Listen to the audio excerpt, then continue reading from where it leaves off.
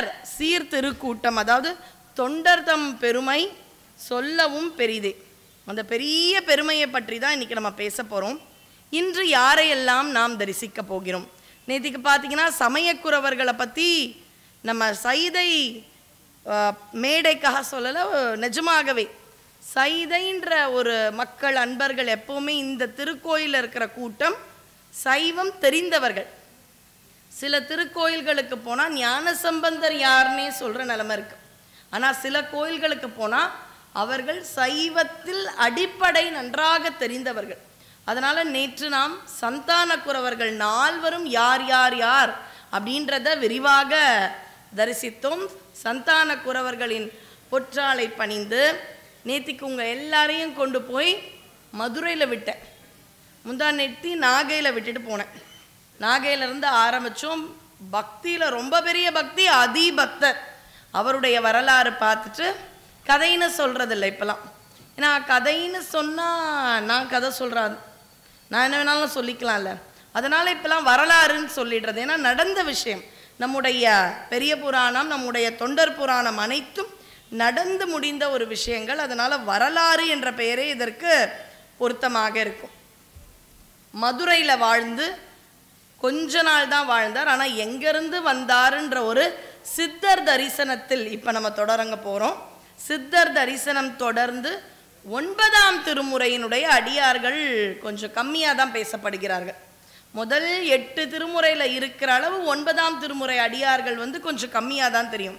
அடியேன் வந்து இந்த சைதை முருகன் திருக்கோயிலில் வந்து ஒரு ஆகஸ்ட் பதினைந்து அந்த ஒன்பதாம் திருமுறையை மட்டுமே ஒரு மூன்று மணி நேரம் அங்கிருந்த ஜோதிராமலிங்கம் ஐயா அந்த திருமுறைகளை பாட அடியேன் வந்து அதுக்கு நடுவில் நடுவில் பொருள் ஆசிரிய குறிப்பெல்லாம் கொடுத்தேன். அதனால் அதில் இருக்கிற ஒரு அடியாரை பற்றியாவது எனக்கு சொல்லணும்னு ஆசை.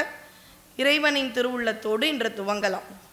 மதுரை மண் மிக மிக புண்ணியம் செய்தது அப்படின்ற இடத்துல நேற்று நாம் நிறைவு செய்தோம்.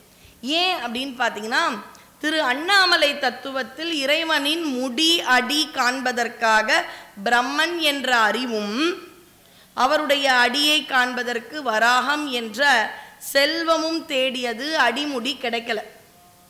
ஆதியும் அந்தமும் இல்லா அருட்பெரும் ஜோதி அது ஆதியும் அந்தமும் இல்லா அருட்பெரும் சோதியையாம் பாட கேட்டையோ வாழ்த்தடங்கன். நம்முடைய முதல் நாள் கூட பார்த்தீங்கன்னா காரைக்கால் அம்மையாருடைய திரு ஆலங்காட்டு ரகசியத்தை சொல்லி ஆரம்பித்தேன் அது என்ன ரகசியம்?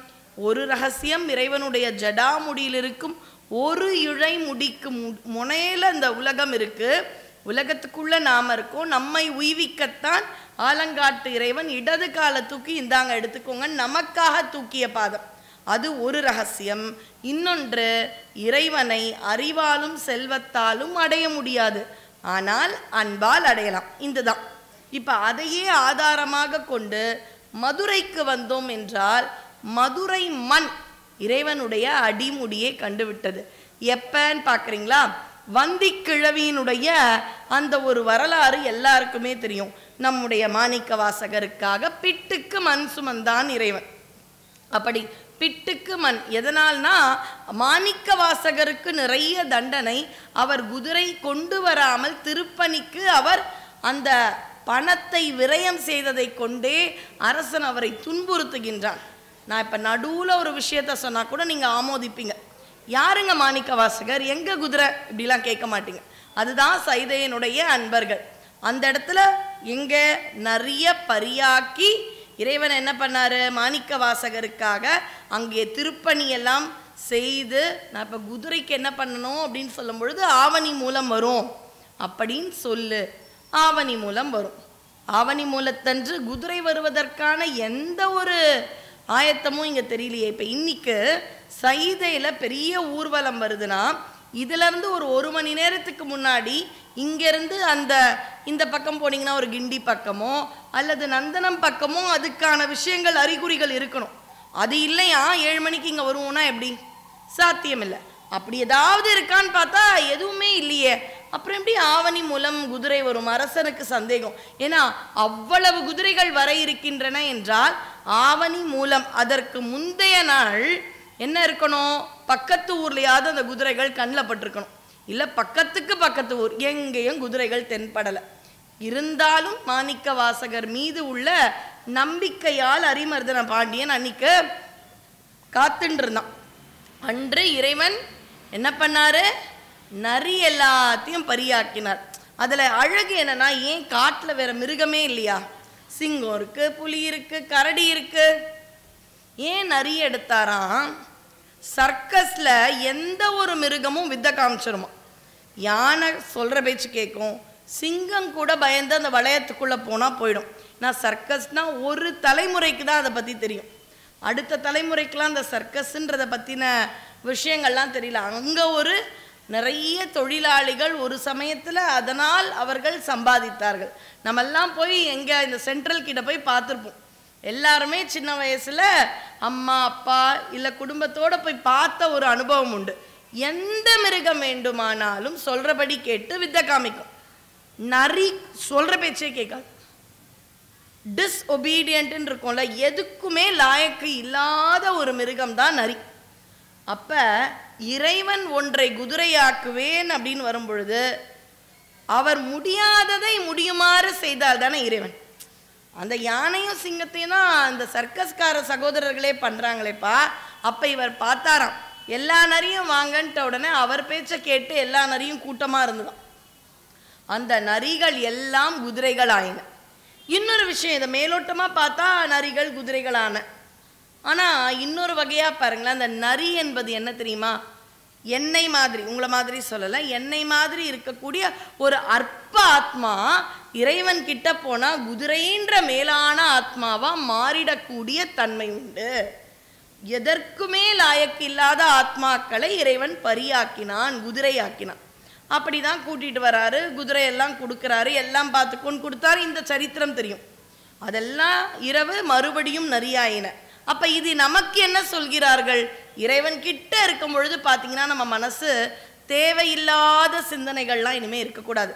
யாரை பார்த்தும் இனிமே கோவப்படக்கூடாது. இனிமே மற்றவங்க மேல பொறாமப்படக்கூடாது. யாருக்காவது ஏதாவது தீய பழக்கம்னா இறைவா இந்த திருவாசக முற்றோதல் எவ்வளோ நல்லா இருக்கு? கோயிலில் இருக்கிற திருமுறைகள் எல்லாம் கேட்க எவ்வளோ நல்லா இருக்கு? இனிமே அதுக்கெல்லாம் நான் போகக்கூடாது. இதே மாதிரி வாழணும்னு நினைப்போம். ஆனால் இரண்டு மூன்று நான்கு நாட்கள் கழித்து சூழ்நிலைகள் என்னவா மாத்திரும் மறுபடியும் அந்த பழைய விஷயத்துக்கு போக வைக்கும்.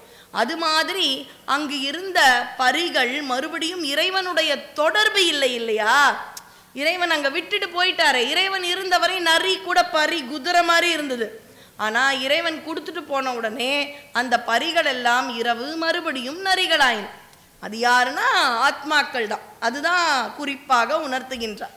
சரி இதை பற்றியே அந்த மாணிக்க வாசகருக்கு தண்டனை பற்றியே பெரிய ஏமாற்றுதல் பெரிய ஏமாற்றுதல்னு சொல்லிகிட்டே இருக்கார் பார்த்தார் சிவபெருமான்.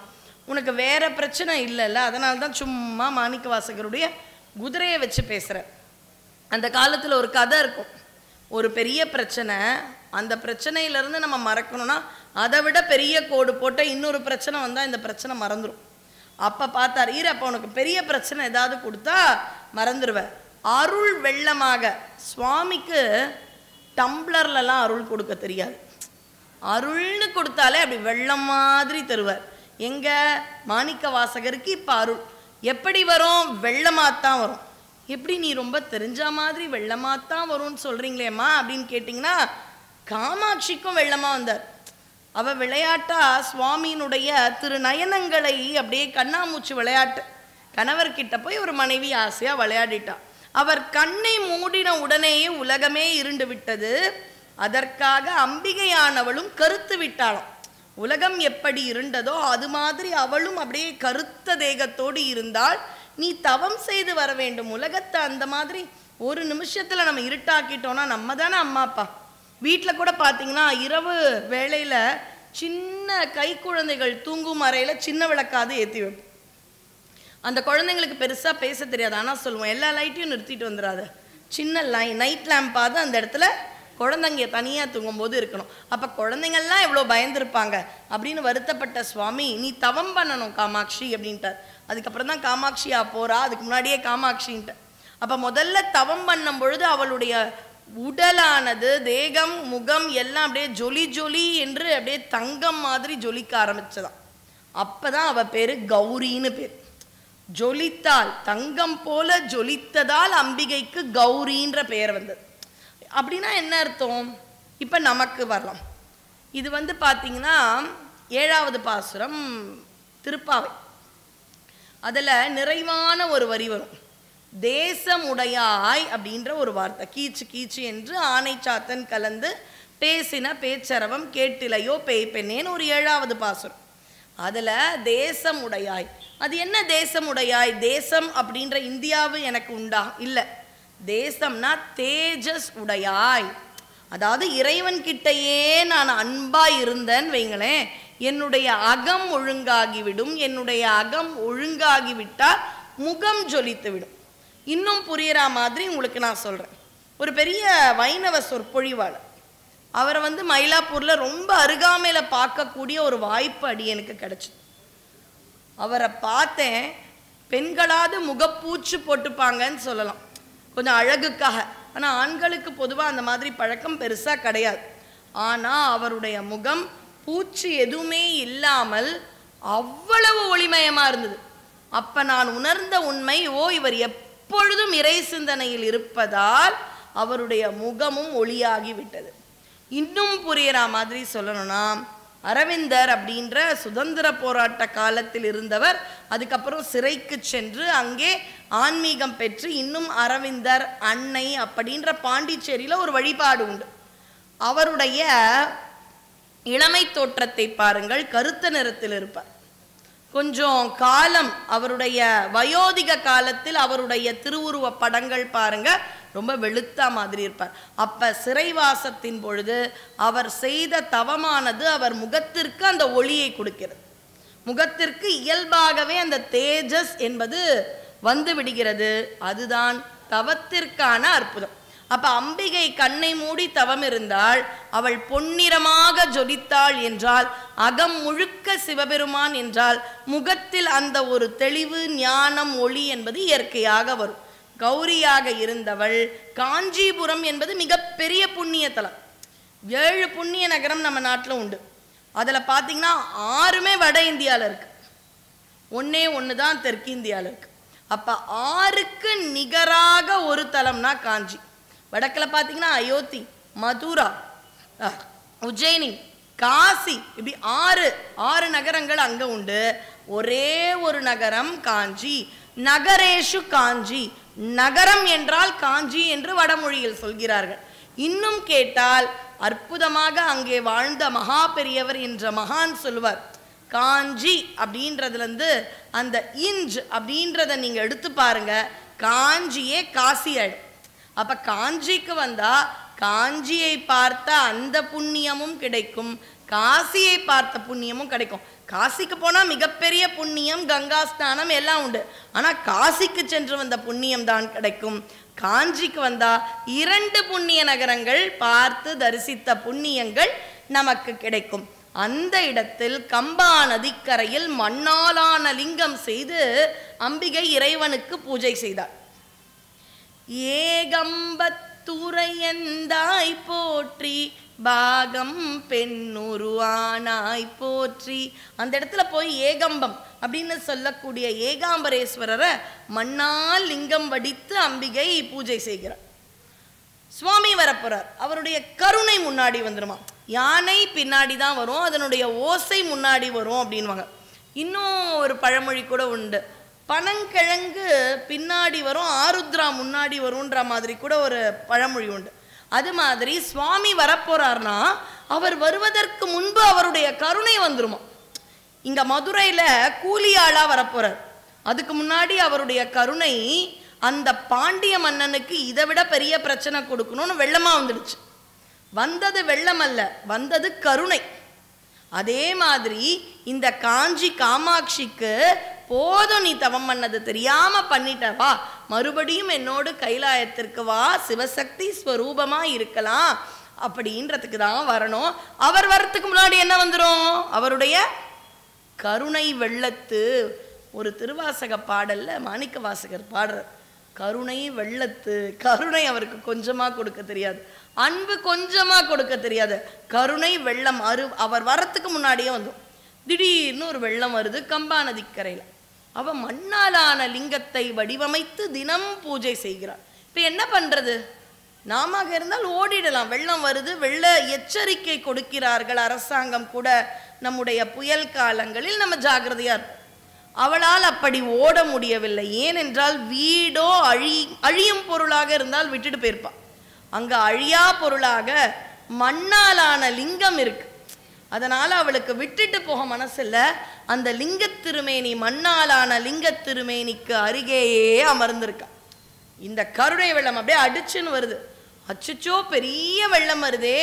இது வந்தா மண்ணாலான லிங்கம் அப்படியே கரைஞ்சிடுமே கலைஞ்சிடுமேன்னு அவன் என்ன பண்ணாலாம் அப்படியே சிவபெருமானா ஆலிங்கனம் பண்ணிட்டான் இன்னைக்கு கூட பார்த்தீங்கன்னா காமாட்சி அப்படின்னா சில இடங்களில் திருவுருவ படம் திருவுருவ சிலை சில திருக்கோயில்களில் நவராத்திரி காலங்களில் காமாட்சி அலங்காரம் என்று லிங்கத் திருமேனியை அம்பிகையானவள் அ- அணைப்பது போல ஒரு அலங்காரம் செய்வார்கள். அந்த மாதிரி அவள் அணைச்சதுல என்ன ஆச்சா இன்னிக்கும் காஞ்சிபுரத்து ஏகாம்பரேஸ்வரர் மூலவர் சன்னதியில் இருக்கும் லிங்க திருமேனியில் வளை முலை தடம் இருக்கா.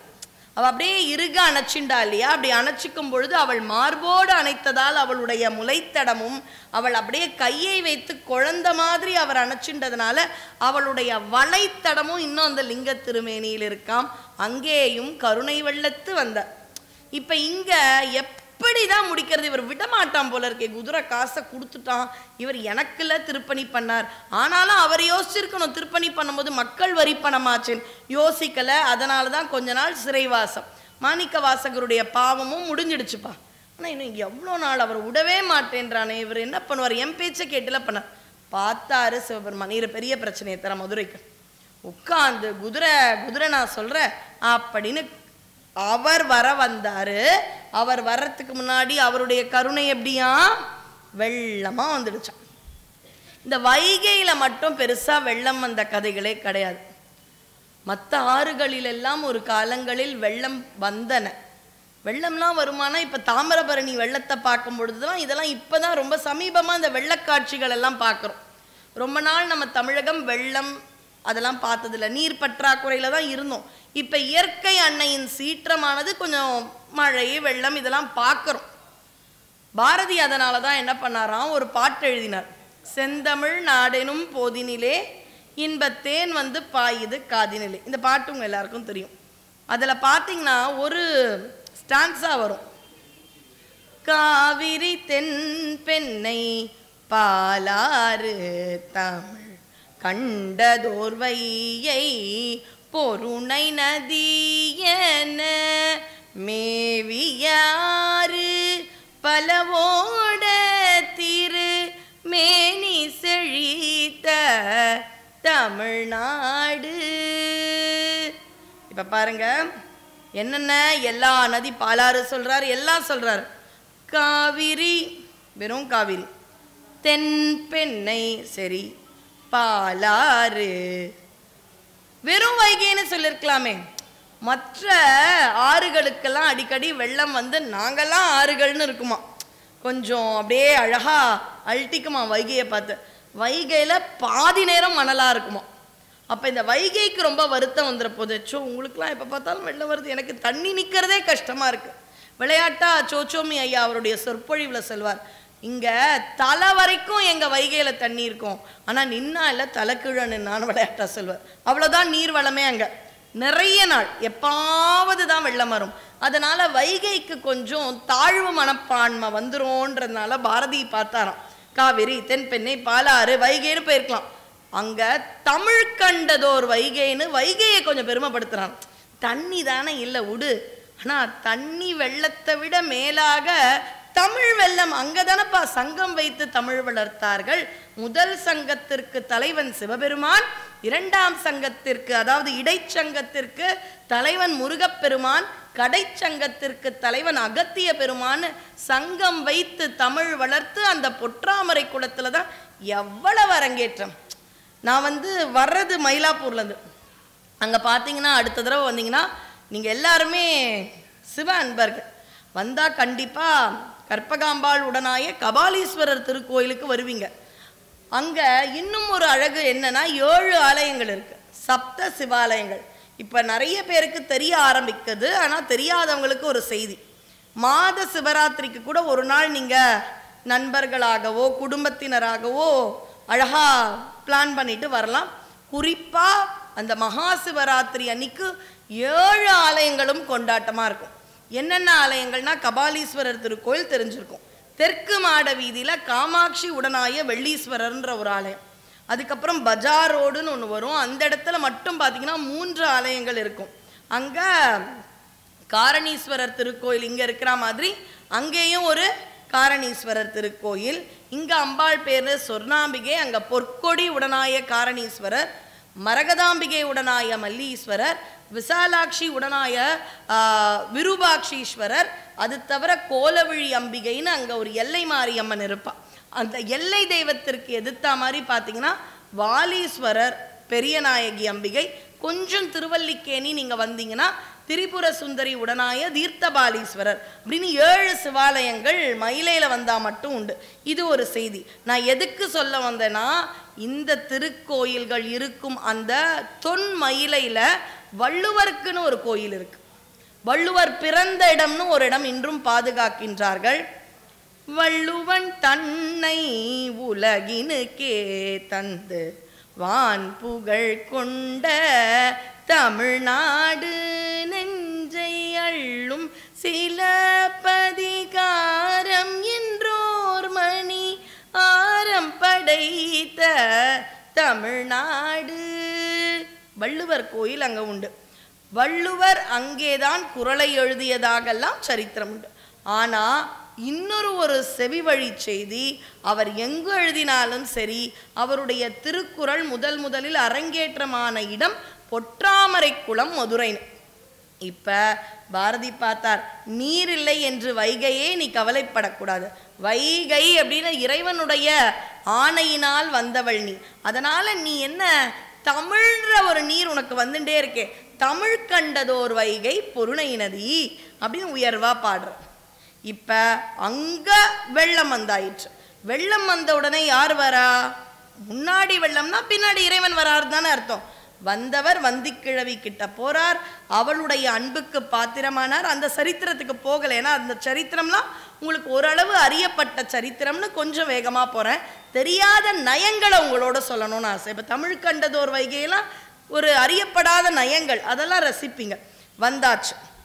யாருமே பார்க்காத அவருடைய திருவடியையும் திருமுடியையும் மதுரை மண் பார்த்தது. எப்படி? நடந்து வர அங்கே இருக்கிறவங்களாம் சொல்கிறாங்க கூலி ஆள் தானே நீ? கூலி எடுத்துன்னு போ. மண்ணெல்லாம் எடுத்தாங்க. வே வேகமாக போய் வெள்ளத்தை அந்த மண்ணை போட்டு அண. அப்படின்னு சொல்லும் பொழுது மதுரை மண்ணில் இறைவன் எம்பெருமானுடைய திருப்பாதங்கள் படுது. மதுரை மண் கச்சிச்சோ இதுதானே திருமால் கூட பார்க்க முடியாத புண்டரீகம். இதுதானே அந்த பாதமலர்னு பார்க்குது. உடனே ஆஹா இவருடைய சிரசு முடி ஆதி எப்படி இருக்குன்னு பார்க்கணும்னு ஆசை. சரி திருவடியை பார்த்தோமே அப்படின்னு சொல்லும் பொழுது மற்ற மண்ணெல்லாம் சொல்லு. இரு இரு இரு ஒரு பாண்டு கொண்டு வராரு. மண்ணெல்லாம் எடுக்க போறாரு. அவர் தலையில வச்சுப்பார். நம்ம அதை பார்த்துடலாம்னு நினைக்கிறேன். அப்படின்னு பேசும் பொழுதே இறைவன் கொஞ்சம் மண்ணையெல்லாம் தலைமேல் சுமந்து கொண்டு அந்த மண்ணை எடுத்து போகும் பொழுது மதுரை மண்ணுக்கு கொண்டாட்டம். அட போங்கப்பா மண்ணானாலும் ஒரு பாட்டு உண்டு இல்லையா? திருச்செந்தூர்ல மண்ணா இருக்கணுன்ற மாதிரி மதுரையில மண்ணா இருந்தா நான் இறைவனுடைய அடிமுடியை பார்த்து விட்டேன். இதை காட்டிலும் என்ன அப்படின்ற ஒரு பெரிய பெருமை உண்டாம். இது மாணிக்க வாசகர் சரித்திரம். இதே பெருமை திருவாரூர் மண்ணுக்கும் உண்டாம். எப்படி அப்படின்னு பார்த்தீங்கன்னா திருவாரூரில் இருக்கக்கூடிய மண்ணாலான ஒரு வீடு கட்டுறோம். ஒரு முகப்பு கட்டுறோம்னா கண்டிப்பாக கல் மண் சிமெண்ட் இதை வச்சு தான் கட்டுவாங்க. இது உங்கள் எல்லாருக்கும் தெரியும். அப்படி கட்டப்பட்ட பறவையார் வாசற்படி இறைவனுடைய திருமுடியை பார்த்துடுச்சான் போய் நிற்கிறார் பறவை நாச்சியாருக்கும் சுந்தரருக்கும் கொஞ்சம் ஊடல். இவங்க ஊடல்ல இவருக்கு என்ன பிரச்சனைனா பாடல் இல்லை. இங்கே ஊடல் அதனால இங்கே பாடல் கிடையாது. ஏன்பா பாடலை? அட போங்கப்பா எனக்கும் அவளுக்கும் சண்டை. இந்த மாதிரிலாம் சண்டையாக இருந்தாலும் எனக்கு பாடல் வரிகள்லாம் வராது. ஏ உன் தமிழ் எனக்கு ரொம்ப பிடிக்கும். ஏதாவது ஒன்று பாடேன். ஏன்னா அவ்வளவு அழகா ரொம்ப அழகா பாடினவர் நம்ம சுந்தரர். ஏழிசையாய் இசை பயனாய் இன்னமுதாய் என்னுடைய தோழனுமாய் யான் செய்யும் துரிசுகளுக்கு உடனாகி. முதல்ல நல்லா தான் ஆரம்பிக்கிறார் ஏழிசை நீ சுவாமிக்கு ஒரே சந்தோஷம். ஆஹா. இசைப்பயன் நீ. ம். என் அமுது நீ. ஆஹா. என்னுடைய தோழனும் நீ. ஆமாம் ஆமாம் தோழமை தந்தோம். அவர் ஃப்ரெண்டுன்னு சொல்லிக்கல. இப்போ நான் கூட சொல்லலாம். சிவபெருமான் எனக்கு ஃப்ரெண்டுன்னு ஏதோ ஒரு திரைப்படத்தில் வர நகைச்சுவை மாதிரி அவரை எனக்கு தெரியும். அப்படியா? ஆனால் அவருக்கு என்ன தெரியாது? எனக்கு தான் அவரை தெரியுன்ற மாதிரி. அப்படி அவர் எனக்கு ஃப்ரெண்டுன்னு சுந்தரர் சொல்லலை. இப்போ நான் கூட சொல்லிக்கலாம். ஆனால் சுவாமி சொன்னாதானே அது தோழமை? தோழமை தந்தோம்னு சுவாமியே சுந்தரருக்கு கொடுக்குறார். தோழனுமாய் ஆஹா அப்படின்றார். நான் செய்யும் துரிசுகளுக்கு உடனாகின்னு நான் என்ன தப்பு பண்ணாலும் நீயும் கூட்டுப்பா. என்ன இந்த மாதிரி சொல்லிட்ட? ஆமா நான் எங்கெல்லாம் போறேன்? ரெண்டாவது திருமணம் பண்ணிக்கிறது அவளுக்கு கொடுத்த வாக்கு எல்லாம் உனக்கு தெரியுமே. அப்ப நான் பண்ற தவறுகளுக்கும் நீதான் உடந்தை அப்படின்னு அந்த கொஞ்சு தமிழால் வந்தொண்டர் என பெயர் எடுத்தவருடைய தமிழ் கேட்காமல் இருக்கலை. என்ன பிரச்சனை? உனக்கும் பறவைக்கும் பிரச்சனை. ரெண்டு பேரையும் சேர்த்து வச்சா பாடுவியா? ம் முதல்ல போய் சண்டையை பாரு அப்படின்ட்டு இவர் உட்காந்து இந்த மேரேஜ் கவுன்சிலர் மாதிரி இந்த காலத்தில் பேர் ஒன்று இருக்குது கணவன் மனைவிக்கு கொஞ்சம் சின்ன மனப்பிரச்சனை பிரிவு அப்படிலாம் இருந்தால் மேரேஜ் கவுன்சிலர்ஸ்னே இருக்காங்க. சேர்த்து வச்சு குடும்பம்னா அவசியம் இப்படிலாம் பிரியலாம். அந்த வேலையை முதல் முதல்ல திறமையாக பார்த்தது நம்ம சிவபெரும் அப்படி வராராம் சுந்தரர் வீட்டு கதவை திறக்கிறாரு தற்றாறு தட்டி நிற்கும் பொழுது அவர் இல்லத்து வாசப்படி ஆஹா உன்னுடைய காலை பார்த்துட்டேன். வாசப்படி மேல் பக்கம் ஏய் நான் இங்கே முடிய பார்த்துட்டேன். நம்மெல்லாம் ரொம்ப பெருமை வாய்ந்தவர்கள் என்று எப்படி மதுரை மண் அவருடைய அடிமுடியை தரிசித்ததோ அதுபோல திருவாரூர் பறவையார் இல்லத்து வாசற்படியும் அவருடைய அடிமுடியை தரிசித்தது. இப்போ நம்ம நேராக எங்கே போகலாம் திருவாரூர்லேருந்து மறுபடியும் மதுரைக்கு போகலாம் என்னம்மா அங்கேயும் இங்கேயும் கூட்டிகிட்டு போகிறேன்னா இருந்தபடி மானசீகமாக பூசலார் நாயனார் மாதிரி போகிறோம் அதுவும் போகும் தலம் எல்லாம் எப்படி பார்த்தீங்கன்னா ஒரு சமயம் நாகை ஒரு பக்கம் திருவாரூர் இன்னொரு பக்கம் மதுரை. கரும்பு தின்ன கூலியான்ற மாதிரி எல்லாமே இறைவனுடைய அருள் அப்படியே மழையாக பொங்கி வரும் தலங்கள். இப்போ மதுரைக்கு வர இந்த மதுரையில் பிட்டுத்தோப்பு அதாவது இந்த பிட்டுக்கு மண் சுமந்த இடத்துல பிட்டுத்தோப்பு புட்டுத்தோப்புன்னு கொஞ்சம் பேச்சில் பரவலாக சொல்லுவாங்க. இந்த இடத்தில் லிங்க வடிவில் அருள் பாலிக்கும் பழனி நாச்சிமுத்து சுவாமிகள் அப்படின்ற சித்த புருஷரை பற்றி இன்னைக்கு பார்க்க போகிறோம் அதாவது ஒவ்வொருத்தருடைய வாழ்க்கை எப்படியெல்லாம் மாறுது. ஏன்னா சித்தர் தரிசனமும் அடியன் உங்களுக்கு வாக்கு கொடுத்துருக்கேன். அருளாளர்கள் தரிசனம் சில நாயன்மார்கள் தரிசனம் சந்தானக்குறவர்கள் தரிசனம் ஒன்பதாம் திருமுறை அருளாளர்கள் தரிசனம் அதுபோல சித்த புருஷர்கள் தரிசனம்னு இன்று ஒரு சித்தரின் வாழ்க்கைனா சித்தர் எல்லாமே இன்றும் வாழ்வார்கள். அந்த சித்தர்கள்ல நிறைய பேர் ஜீவசமாதி அப்படி ஜீவசமாதியாக அவர்கள் இறைவனோடும் நம்மோடும் இன்னும் கலந்து கொண்டு இருப்பது நம்முடைய இன்னல்களுக்கு நமக்கான தேவைகளுக்கு துணை புரிவதற்காக இன்றும் நமக்கு தெரியாது. இன்னைக்கு இருக்கிற சில காலி இடங்கள்ல சித்தர்கள் கூட உட்கார்ந்து கேட்கலாம். அது நமக்கு தெரியாது. அந்த அளவு தவம் இருந்தால் அவர்களை தரிசிக்கக்கூடிய பாக்கியம் உண்டு. ஏன்னா இன்னைக்கும் திருவண்ணாமலை பக்கம் போனீங்கன்னா சித்தர்கள் அப்படின்ற அவர்களுடைய தரிசனம் நிறைய பேருக்கு கிடைச்சிருக்கு. அதுலேயும் இப்போ நீங்கள் சாலைகளில் போறீங்கன்னு வைங்களேன். நடைபாதையாக போனாலும் சரி இரண்டு சக்கர வாகனத்தில் போனாலும் சரி எப்படி போனாலும் நீங்கள்லாம் எந்த பக்கம் போவீங்க? வண்டி ஓட்டின்னு போகிறீங்க இல்லை நடந்து போகிறீங்கன்னா பொதுவாக எந்த பக்கம் நம்ம போனோம்? இடது பக்கம். அதே மாதிரி தான் கிரிவலத்துலேயும் நட்ட நடுவில் நடந்து போகக்கூடாதான். இல்லையே கிரிவல பாதை பௌர்ணமியில் வண்டிலாம் வராதுங்களே நான் எந்த பக்கம் போனால் என்ன? அப்படின்னு நடுவில் போகக்கூடாது வலப்பக்கம் போகக்கூடாது. இடது பக்கமாக தான் போகணுமா? அப்போ வலது பக்கம் ஏங்க வேஸ்ட்டாக இடம் வரும்? எதிர்பக்கம் யாராவது வரப்போகிறாங்களா என்ன? யாரும் அந்த கிரியை அப்பிரதஷ்டமாக வரமாட்டாங்க. ஆன்டி கிளாக் வைஸாக வரப்போகிறதில்ல கிளாக் வைஸ் அதாவது பிர- பிரதர்ஷன மார்க்கத்தில் தான் வருவாங்க. அப்புறம் எதுக்கு நாங்கள் அந்த பக்கம் அதை நாங்கள் இடத்த விட்டு வைக்கணும்னா அது வந்து சித்தர்கள் நடப்பதற்கு விட்டு வைக்கணும். இப்போ அவங்க வேகமாக நடப்பாங்க. நான் உட்காந்து எங்கள் வீட்டு கதையெல்லாம் பேசிண்டு அப்பா இன்னும் எவ்வளோ நேரம் ஆச்சு? ரெண்டு ஹவர் ஆச்சு. இவ்வளோதான் என்னால் நடக்க முடியுதான்னு பொறுமையாக பேசினா சித்தர்களுக்கு இதெல்லாம் பார்த்து உங்கள் பின்னாடி நடக்கணும்னு கிடையாது. அவர்கள் எக்காலமும் சிவச்சிந்தனையில் இருப்பவர்கள். அதனால இன்றிலிருந்து அடியேன் சொல்லும் விண்ணப்பம் வலப்பக்கத்து பாதையில் கிரிவலம் சென்றால் சித்தர்களுக்காக இடம் விட்டு இடப்பக்கமாக நடக்கும். ஏன்னா நம்ம கண்ணு தெரியாது. சித்தர்கள் பாஸ் ஆகிட்டே இருப்பாங்களாம். நாம இப்பதான் வாழறோம். எவ்வளவு காலம் நாம் வாழும் காலத்திற்கு முன்னாடி இருக்கு. அப்போ எவ்வளவு யுகம் யுகமாக வந்த சித்த புருஷர்கள் நடப்பார்கள். அதனால சித்தர் தரிசனம். இவர் யார் அப்படின்னு பார்த்தீங்கன்னா நாச்சி முத்து சுவாமிகள். அப்படின்றது இவரோட பேர். ஐப்பசி அஸ்வினி.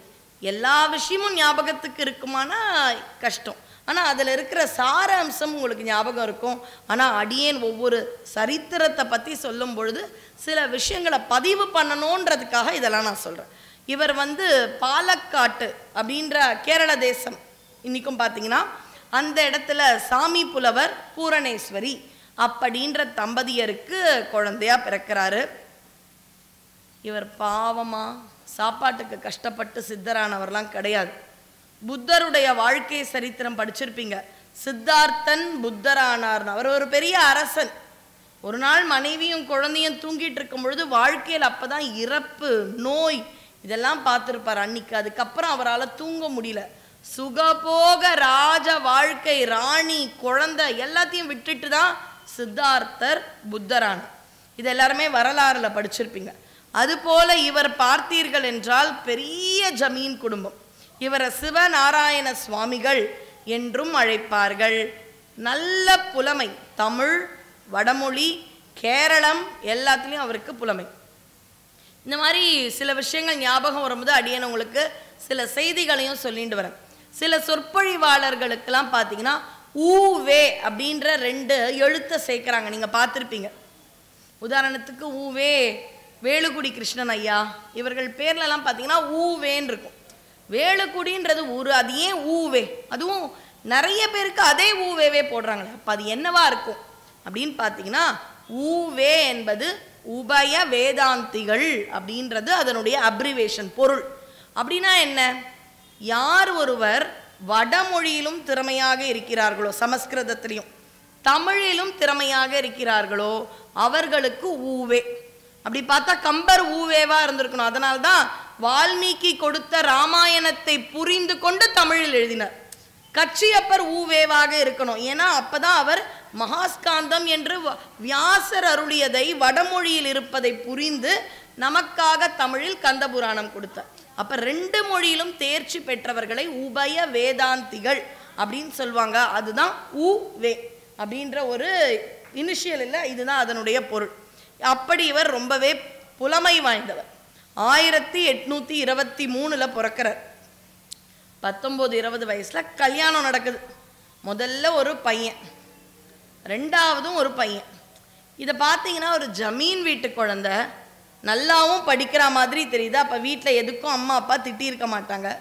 கல்யாணமும் நடக்குது மனைவியோடையும் ரொம்ப சந்தோஷமாக முதல்ல ஆண் குழந்தை ரெண்டாவதும் ஆண் குழந்தைன்னு பிறந்தார். இப்படிப்பட்ட ஒரு வாழ்க்கை இருந்தால் நம்ம நிறைய பேர் நினைப்போம் ச்சே நமக்கு இந்த அளவு ஒரு நல்ல ஒரு வாழ்க்கை இருந்தால் இப்படி இருக்கும்? ஆனால் இந்த ஒரு மாபெரும் சித்த புருஷருக்கு இது நல்ல வாழ்க்கையாக தெரியல. இவர் பார்த்தானா ரெண்டாவது குழந்தைக்கு ஒரு ஒரு வயசு கூட ஆகலை ஆண் குழந்தைக்கு. அவருக்கு வாழ்க்கையே பிடிக்கல. இது என்ன வாழ்க்கை? ஒரு ஜமீன் வாழ்க்கை ஜமீன் உடை உணவு போகம் ச இதெல்லாம் வேண்டாம். நான் இன்னிலிருந்து நேராக பழனிக்கு போய் உட்கார போகிறேன் அப்படின்னு வீடு அரண்மனை எல்லாத்தையும் துறந்து. அதுதாங்க பெருசு. இல்லாதவர்கள் ஞானியாகி மூணு வேளை சாப்பாட்டுக்கு வந்தால் கூட கொஞ்சம் சந்தேகப்படலாம். ஆனாலும் ஞானியினுடைய இடத்தில் இருந்து பார்த்தா தான் ஞானியரை சந்தேகிப்பதற்கான தகுதி கூட நமக்கு இருக்கான்னு தெரியாது. ஆனால் சிலர் உணவுக்கு ஆசைப்பட்டு ஒரு ஆசிரமத்துக்கு போய் வாழலாம். நான் கூட ஞானி ஆயிட்டேன் ஏன் மூணு வேளை உணவு கிடைக்கும்? தப்பில்லை. ஆனால் உணவு சுகபோகங்களில் இருக்கும் ஒருத்தர் அவர் நினைச்சா என்ன வேணாலும் கிடைக்கும். ஆனால் அதை விடுத்து இங்கே வருகின்றார் என்றால் உண்மையான ஞானம் அப்படின்றது அவருக்கு வருது பழனி வந்தார். பழனி வந்து என்ன பண்ணார்? அங்கே உட்காந்து ரொம்ப நேரம் பல காலம் அவர் தவம் இருக்கின்றார். அஷ்ட சித்தி அப்படின்வாங்க தெரியுமா? எட்டு வகையான சித்திகள் கிடைக்குது. சரி சித்தர்களுக்கும் நமக்கும் என்ன வித்தியாசமா இருக்கும்னா உதாரணத்துக்கு எனக்கு எட்டு விதமான சித்திகளும் கிடைச்சதுன்னா எனக்காக ஏதாவது பண்ணிப்பேன். இல்லை எங்க வீட்டுக்காக ஏதாவது பண்ணிப்பேனா இருக்கும். ஆனா சித்தர்கள் அவர்களுடைய எந்த ஒரு சித்தியையும் அவர்களுக்காக செய்து கொள்ள மாட்டார்கள். அவர்கள் உடையெல்லாம் கூட ரொம்ப பாவமாக இருக்கும். ஆனால் ஊருக்காக செய்வார்கள். அவர்களிடம் அந்த பவர் இருக்கும். ஆனால் எங்கே எப்பொழுது யாருக்காகவோ அதை மட்டும்தான் அவர்கள் விரயம் செய்வார்கள். அதை பார்த்துதான் யாருக்கு சித்திகள் கொடுக்க வேண்டும் என்று இறைவன் தீர்மானித்து கொடுக்கின்றான். இறைவனுடைய அனுக்கிரகம் இல்லாமலாம் எதுவுமே கிடைக்காது. அதுவும் பழனிக்கு அதிசயம் அநேகமுற்ற பழனி அப்படின்னு சொல்லுவாங்க. இன்னொரு வார்த்தை சொல்லுவாங்க சித்தர் வாழ்வுன்னுவாங்க. ஏன்னா பழனியில் இருக்கிற பெரிய சித்தரே முதல்ல முருகன் தான். போகர் மற்றவங்கெல்லாம் வரட்டும். ஆனா முதலில் பெரும் சித்தனாக இருந்து சித்தர் வாழ்வு என்று போற்றப்படும் பழனிக்கு காரணமாக இருப்பதே பழனி ஆண்டவர். நாதவிந்து கலாதி நமோ நம வேத மந்திர ஸ்வரூபா நமோ நம இந்த திருப்புகழ் தெரிஞ்சா அப்படியே பாடுங்க. நம்ம எல்லாருமே இது ஒரு சத் சங்கம் தான் ஞான பண்டித சாமி நமோ நம. வெகு கோடி. நாம சம்பு குமாரா நமோ நம. போக அந்தரி பாலா நமோ நம. நாகபந்த சூரர். நம்ம எல்லாரும் இப்போ பழனி போயிருக்கோம். எங்கே பாலக்காட்டிலேருந்து பழனி. பழனி வந்து ஒரு திருப்புகழ் பாட மாட்டோமா? சேத தண்ட வினோதானமோ நம. கீத கிண்கிணி பாதானமோ நம. தீர சம்பிரம வீராணமோ நம. கிரிராஜ சிலருக்கு இந்த புகழ் இந்த திருப்புகழ் வந்து தெரிஞ்சிருக்கலாம். சிலருக்கு வார்த்தைகள் வந்து ரொம்ப பரிச்சயமாக இல்லாமல் இருக்கலாம். ஆனால் இந்த ஒரு மூணு வரி மட்டும் நம்ம எல்லாருமே பாடலாம். நான் ஒவ்வொரு வரியும் சொல்கிறேன் இந்த ஒன்று மட்டும்.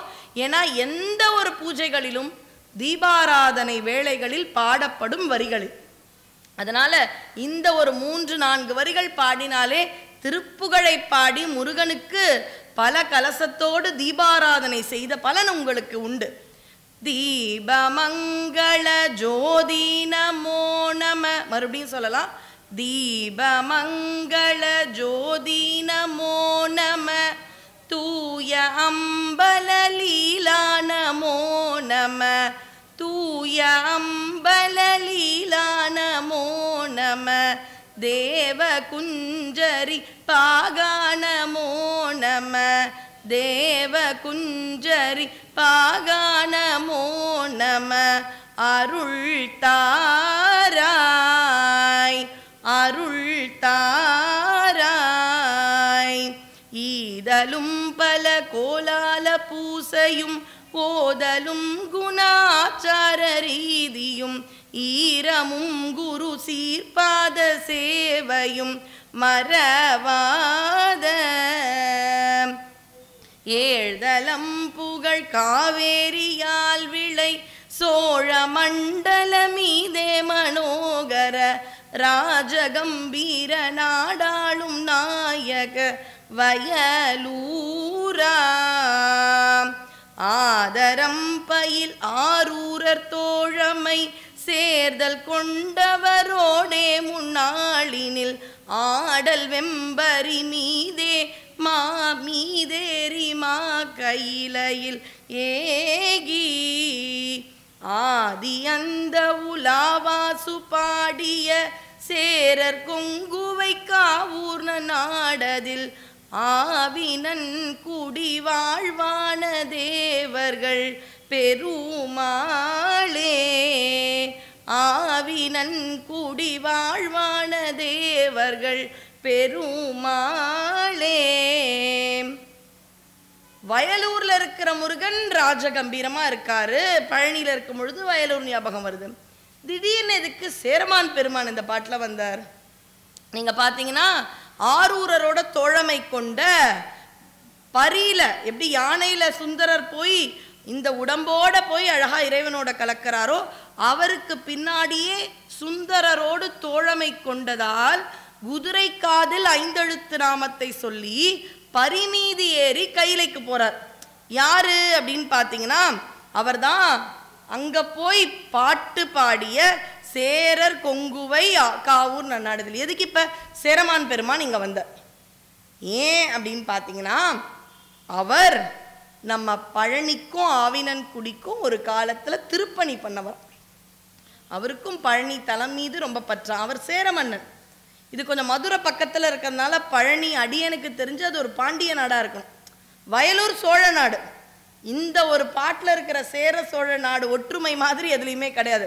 சோழ நாட்டு வயலூரில் ராஜா மாதிரி இருக்க பாண்டிய நாட்டு பக்கத்தில் அந்த பழனியில் இருக்கிற ஆவினன்குடியில் இருக்கிற முருகரை புகழரை ஆனால் இந்த கோயிலுக்கு சேர நாட்டிலிருந்து வந்த சேரமான் பெருமான் திருப்பணி பண்ணார். அதனால் திருப்பணி பண்ணவங்களையும் நாங்கள் மறக்க மாட்டோம்னு இந்த இடத்துல அருணகிரியார் இந்த திருப்புகழில் சேரமான் பெருமாரையும் அழைக்கிறார். எல்லாம் முடிஞ்சிட்டு நிறைவான வரி பார்த்தீங்கன்னா ஆவினன்குடி வாழ்வான தேவர்கள். உங்கள் வீட்டில் உங்கள் எல்லாருக்குமே ஆதார் கார்டு இருக்கும் இல்லைங்களா? அது உங்களோட அட்ரஸ் ப்ரூஃப் அதாவது அரசு கொடுக்கப்பட்ட உங்களுக்கான ப்ரூஃப் அது. இப்படி தேவர்கள் கிட்ட போயிட்டு உங்கள் அட்ரஸ் ப்ரூஃப் வாங்கி பார்த்தீங்கன்னா ஃப்ரம் இந்திரலோகம்னு இருக்காதாம். தேவலோகம்னு இருக்காதாம். எல்லா தேவர்களுக்கும் ஆவினன் குடின்னு இருக்கும். நம்ம அட்ரஸ் ப்ரூஃப் ஒரு இடத்துல இருக்கலாம். வேலைக்காக ஒரு இடத்துல வாழ்வோம். யாராவது கேட்டால் இல்லை இல்லை எங்கள் ஊர் தான் எனக்கு அட்ரஸ் ப்ரூஃபு இல்லை இந்த இடம் தான் என்னுடைய அட்ரஸ் ப்ரூஃபு வேலை நிமித்தமாக இங்கே வந்திருக்கேன்னு சொல்கிற மாதிரி நாங்கள் தேவ உலகத்தில் வாழறோம். வருணனாக இருக்கேன் அக்னியாக இருக்கேன் யமனா இருக்கேன் தர்மனாக இருக்கேன். எதுவாக இருந்தாலும் எங்கள் அட்ரஸ் பார்த்தீங்கன்னா ஆவினன்குடி தான். அதனால தான் ஆவினன்குடி வாழ்வான தேவர்கள் அப்படின்னு ரொம்ப அழகாக சொல்கிறாரு அதனால் அதிசயம் அநேகமுற்ற பழனி சித்தர் பெருவாழ்வு இதெல்லாம் பார்த்தீங்கன்னா அற்புதமான பழனிப்பதிக்கான அற்புத நாமங்கள் இந்த இடத்துக்கு அவர் வரார் வந்தவர் முருகனுடைய அருளை பெறுவதற்காக புளிய மரத்துக்கடியில் உட்கார்றார். மரங்கள் நிறைய வரலாற்றில் ஞானம் தருகிறது. நான் ஏன் தெரியல? ஏதோ அவர் வந்து ஜமீன் வாழ்க்கையை விட்டுட்டு வரும்பொழுது சில விஷயம் இங்கே வரும்பொழுது ஏதாவது தோணும் உங்களுக்கு சொல்வேன். விளையாட்டாக நான் என்ன பண்ணிட்டேன்? புத்தருடைய வாழ்க்கையை கம்பேர் பண்ணிட்டேன் கொஞ்சம் நேரத்துக்கு முன்னாடி. இப்போ தான் இன்னொரு விஷயம் தோணுது. இவர் புளிய மரம்னா அவர் போதி மரம். விட்டுட்டு வந்த எல்லாருக்குமே ஏதோ ஒரு மரங்கள் ஞானம் கொடுக்குது. எவ்வளவு மனிதர்கள் ஞானம் கொடுக்கிறார்கள்னு தெரியல. ஆனால் மரங்களுக்கு அடியில் அமர்ந்து கொண்டு அவர்கள் தவம் இருக்கும் பொழுது ஞானம் வரும். இதே மாதிரி புளிய மரத்தில் இருந்து புளிய மரத்திற்கு அடியில் தவம் செய்து ஞானம் பெற்ற ஒரு ஆழ்வார் யாருன்னு பார்த்தீங்கன்னா சடகோபன் என்று போற்றப்படும் நம்மாழ்வார். நம்மாழ்வார்ன்றது வந்து அவர் வந்து வேதம் தமிழ் செய்த மாறன்னு அவருக்கு பேர். ஆழ்வார் தோன்றிய தலமிது எங்கள் ஆதிநாதனருள் தலமிது தெய்வத்திருக்குறுகூர்பதி இது. மக்கள் சேரும் நன்மைகளை தருவது. மக்கள் சேரும் நன்மைகளை தருவது. திருக்குறுகூர்னு பேர். திருச்செந்தூர் போனீங்கன்னா இதெல்லாம் நான் சொல்கிறேன் உங்களுக்கு. அடுத்த முறை இந்த தலங்கள்லாம் போனால் வாய்ப்பு கிடைச்சா இங்கே போங்க. திருச்செந்தூர் கண்டிப்பாக போவீங்க. ஆனால் திருச்செந்தூர் போகிற எவ்வளவு பேருக்கு அது பக்கத்திலேயே தாமிரபரணியை சுற்றி ஆழ்வார்களால் மங்களாசாசனம் செய்யப்பட்ட நவ திருப்பதி இருக்குன்றது நிறைய பேருக்கு தெரியாது. எப்படி? நேற்றைய தினம் கும்பகோணத்தில் பார்த்தோம் இல்லையா? சூரியனார் கோயில் திங்களூர் வைத்தீஸ்வரன் கோயில் திருவெண்காடு ஆலங்குடி கஞ்சனூர் திருநள்ளாறு நாகேஸ்வரம் கீழ்பெரும் பள்ளம்னு நம்ம கும்பகோணத்தை சுற்றி இருக்கும் நவகிரக தலங்கள் இதுபோல தாமிரபரணி ஆற்றை சுற்றி நெல்லை மாவட்டத்தில் ஸ்ரீவைகுண்டம் நத்தம் அதில் வந்து பார்த்தீங்கன்னா திருகுருகூர் அப்படின்றது குருத்தலம் வியாழந்தலம் அந்த இடத்துல பார்த்தீங்கன்னா புளிய மரத்தை இன்றும் வணங்குகிறார்கள். நம்மாழ்வார் அங்கே அமர்ந்து தவம் செய்த புளிய மரம் இன்னும் இருக்கு. யார் இந்த நம்மாழ்வார்? பிறந்த உடனே அந்த குழந்தை வந்து யாரோடையும் பேசல. அப்படியே தவழ்ந்து புளிய மரத்து பொந்தில் போயிடுச்சோம். மாறன்னு பேர். ஏன்னா உலகத்தில் இருக்கிற குழந்தைங்க பிறந்தா அழணும். கொஞ்சம் வளர்ந்தா நடக்கணும் சிரிக்கணும் விளையாடணும். எதுவுமே இல்லாமல் ஒரு குழந்தை எல்லாரையும் பார்த்து பயந்து தவழ்ந்து உள்ளேயே இருக்கிறதுனால உலக இயல்புக்கு மாறுபட்டு இருந்ததுனால அந்த குழந்தைக்கு மாறன்னு பேர். அப்படி இருந்த குழந்தை முதல் முதலில் மதுரக்கவி ஆழ்வார் என்று அவருக்கு சீடன் வரும் பொழுதுதான் முதலில் பேசினாராம்.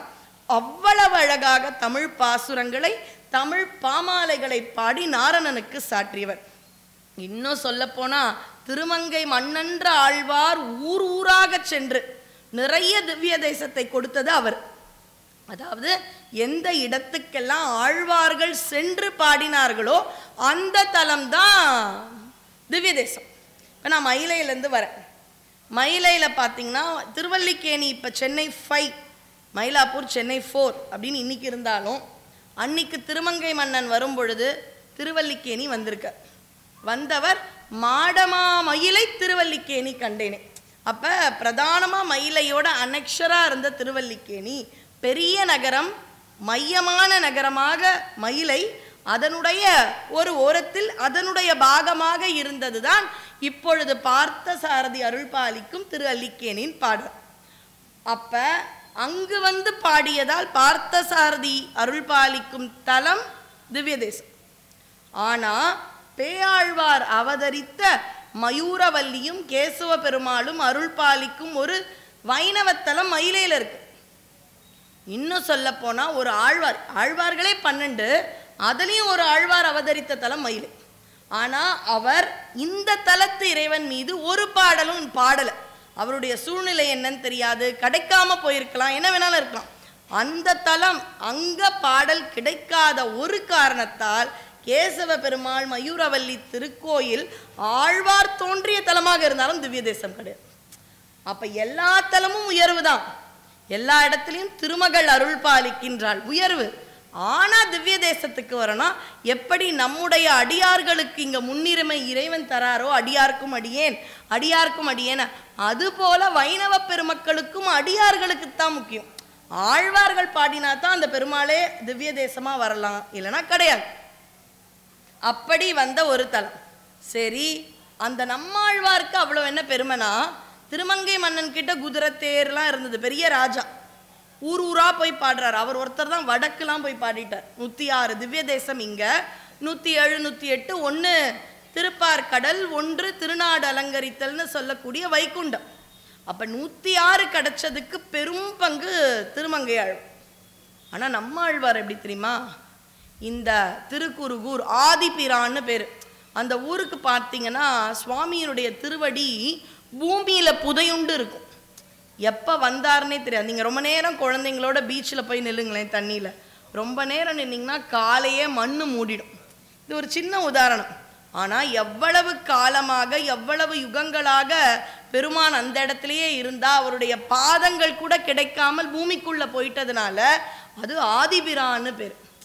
எந்த இடத்துக்கு போனாலும் திருமாலாகட்டும் நம்முடைய சைவ திருக்கோயில்கள் ஆகட்டும் இறைவனுடைய திரு அடியிலிருந்து பார்க்க ஆரம்பிக்க வேண்டும் பாதாதி கேசம் கேசாதி பாதம். அரசர்கள் அழகிகள் இவர்களெல்லாம் கேசாதி பார்க்க பாதமாக பார்க்கணும். ஆண்டவனை பாதாதி கேசமாக பார்க்கணும். ஒரு கிடந்த கோலத்தில் பெருமாள் இருக்காரா? முதல்ல அந்த திருவடிகளை பார்க்கணும். அம்பாள் இருக்காளா? திருவடிகளை பார்க்கணும். இங்கே கூட பார்த்தீங்கன்னா ஸ்வர்ணாம்பிகையை நீங்களாம் பார்த்துருப்பீங்க. சைதை அன்பர்கள் நம்ம ஸ்வர்ணாம்பிகையோட திருப்பாதத்தை பார்த்தீங்கன்னா அவளுடைய இடது கால் கொஞ்சம் முன்னாடி கொஞ்சம் வச்சா மாதிரியும் வலது கால் பின்னாடியும் இருக்கும். ஸ்ட்ரெயிட்டாக இருந்தால் ஒருத்தரால் உடனே கிளம்ப முடியாது. கால் முன்ன பின்னன்னு வச்சு ஓட்டப்பந்தயத்தில் இருந்தோன்னா ஓட முடியும். நம்மெல்லாம் ஏதாவது வேணும் அம்மா ஸ்வர்ணாம்பிகைனா ஓடி வரத்துக்கு ஆயத்தமாக நீங்கள் பார்த்துருப்பீங்க பார்க்காதவங்க அம்பாளை பாருங்கள் அவளுடைய இடது பாதம் அப்படி கொஞ்சம் முன்னாடி தான் இருக்கும் இங்கே கூட. அதனால் இறைவனை திருவடியிலிருந்து திருமுடி வாயிலாக நாம் தொழுவது என்பது மரபு. இப்போ எங்கே வரணும்? பழனிக்கு வரலாம். இந்த நம்மாழ்வாரோட ஒரு செய்தி. சொல்லிட்டு பழனிக்கு வந்துடுறேன். இந்த நம்மாழ்வார் அங்கேயே தான் இருக்கார். எந்த ஊருக்கும் போகமாட்டார் ஆனால் அவருடைய தமிழ் அழகாக இருக்கும். அதனால் எல்லா ஊர் திருமாலும் லைனில் நின்று பாட்டு கேட்டுட்டு போங்க அப்போ நான் இந்த ஊர்லேருந்து வந்தேன். எனக்காக ஒரு பாட்டு பாடேன். அடுத்தவர் நான் இந்த ஊர்லேருந்து வந்தேன் என்னுடைய தலத்துக்கு இந்த நாமத்திற்கு நீ ஒரு பாட்டு பாடணும். உன்னுடைய தமிழ் ஆரம் எனக்கு ரொம்ப பிடிக்கும். அப்படி திருமாலும் கியூ கட்டி நின்று தமிழ் பாடலை வாங்கி கொண்டு சென்றார்கள் என்றால் நம்மாள் அங்கேயும் சுவாமி திருமால் கேட்டு அடியவர்களிடம் தமிழ் பாட்டு வாங்கிட்டார். நம்முடைய இறைவனும் சுந்தரர்கிட்ட கேட்டு கேட்டு கேட்டு கேட்டு அப்படி ஒரு தமிழ் பாடல் என்பது இறைவனுக்கு அவ்வளவு உகந்தது. இப்போ புளிய மரத்திற்கு அடியில் வந்து அமர்ந்தார். ரொம்ப நாள் தவம் செய்கின்றார். தன்னுடைய ஜமீன் வாழ்க்கையை மறந்தார். செல்வத்தை மறந்தார். குடும்பத்தை மறந்தார். எல்லாம் பழனி முருகன் என்று இருக்கும் பொழுது பழனி முருகன் மாதிரி ஒரு குருநாதர் யாருமே கிடையாது அருணகிரியார் அப்பாவா பார்க்கறார் இறைவனா பார்க்குறார் அரசனா பார்க்குறார் ஆனா முதல் குரு யாருங்க? அருணகிரியாருக்கு அருணாச்சலத்துல முருகர் தானே வந்து சும்மா இரு அப்படின்னு அவரை தவம் பண்ண வைக்கிற. அப்ப முதல் குரு யாரு? முருகப்பெருமான். முத்தைத்தரு நீ பாடு. குரு. நிறைவா அருணகிரியார் கிளி வடிவம் எடுத்து முருகனோடு ஐக்கியமாகும் பொழுது பாடும் பாடல் தான் அனுபூதி. கந்தர் அனுபூதி. அதுல நிறைவான பாடல் என்ன? உருவாயர் அதுல நிறைவான வரி என்னம்மா? அவ்வளவுதான். நிறைவா கிளியோட நான் உன்னோட சேர்றேன். அப்பாவா வா அம்மாவா வா நீ எனக்கு தெய்வமா இரு. குருவாய் வருவாய் அருள்வாய் குகனே. முருகன மாதிரி ஒரு சிறந்த குருநாதன் கிடையாது. அதனால தானே சிவபெருமானே நீ எனக்கு குருவா இருடா. உன்கிட்ட எவ்வளவு பேர் ஞானம் பெற்றுக் கொள்கின்றார்கள் என்றால் அந்த இன்பம் எனக்கும் சிஷ்யனாக வேணும். நீ சொல்லு நான் கேட்கிறேன். தெரிஞ்ச விஷயம் தான் ஆனால் என் குழந்தை வாயில நான் தெரிஞ்ச விஷயத்தை கேட்டாலும் ஆனந்தம் இல்லையா?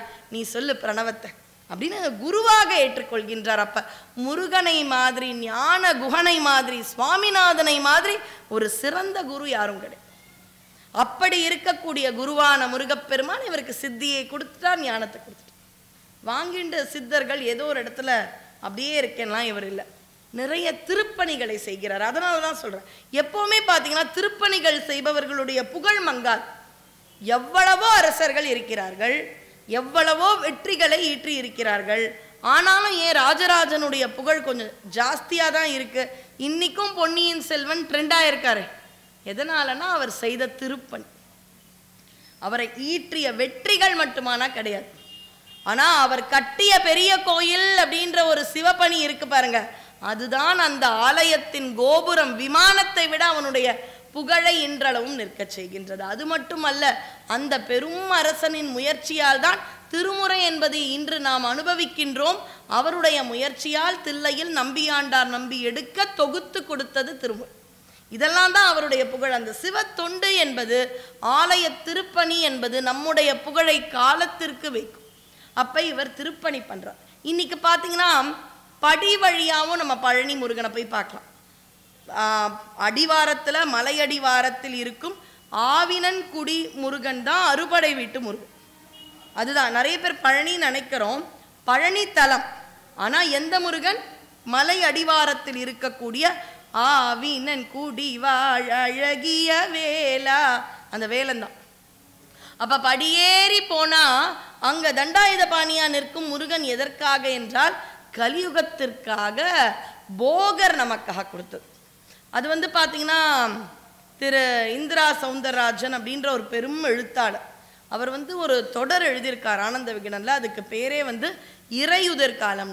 அடியேன் இந்த ஏழு நாட்கள் நிறைவடைந்த உடனே இங்கே புத்தக கண்காட்சியில் போய் அந்த புத்தகத்தை வாங்கணும் ஏன்னா அதில் நிறைய ரகசியங்கள் அற்புதங்கள் குறிப்பாக பழனியை பற்றி ஏன்னா ஏன் கல் இருக்கும் பொழுது மண் இருக்கும் பொழுது ஐம்பொன் செப்பு இதெல்லாம் இருக்கும் பொழுது ஏன் நஞ்சால் ஒரு சிலையை பண்ணணும்னு எடுத்தார். ஏன்னா நவ பாஷான சிலை ஒம்பது வருஷம்.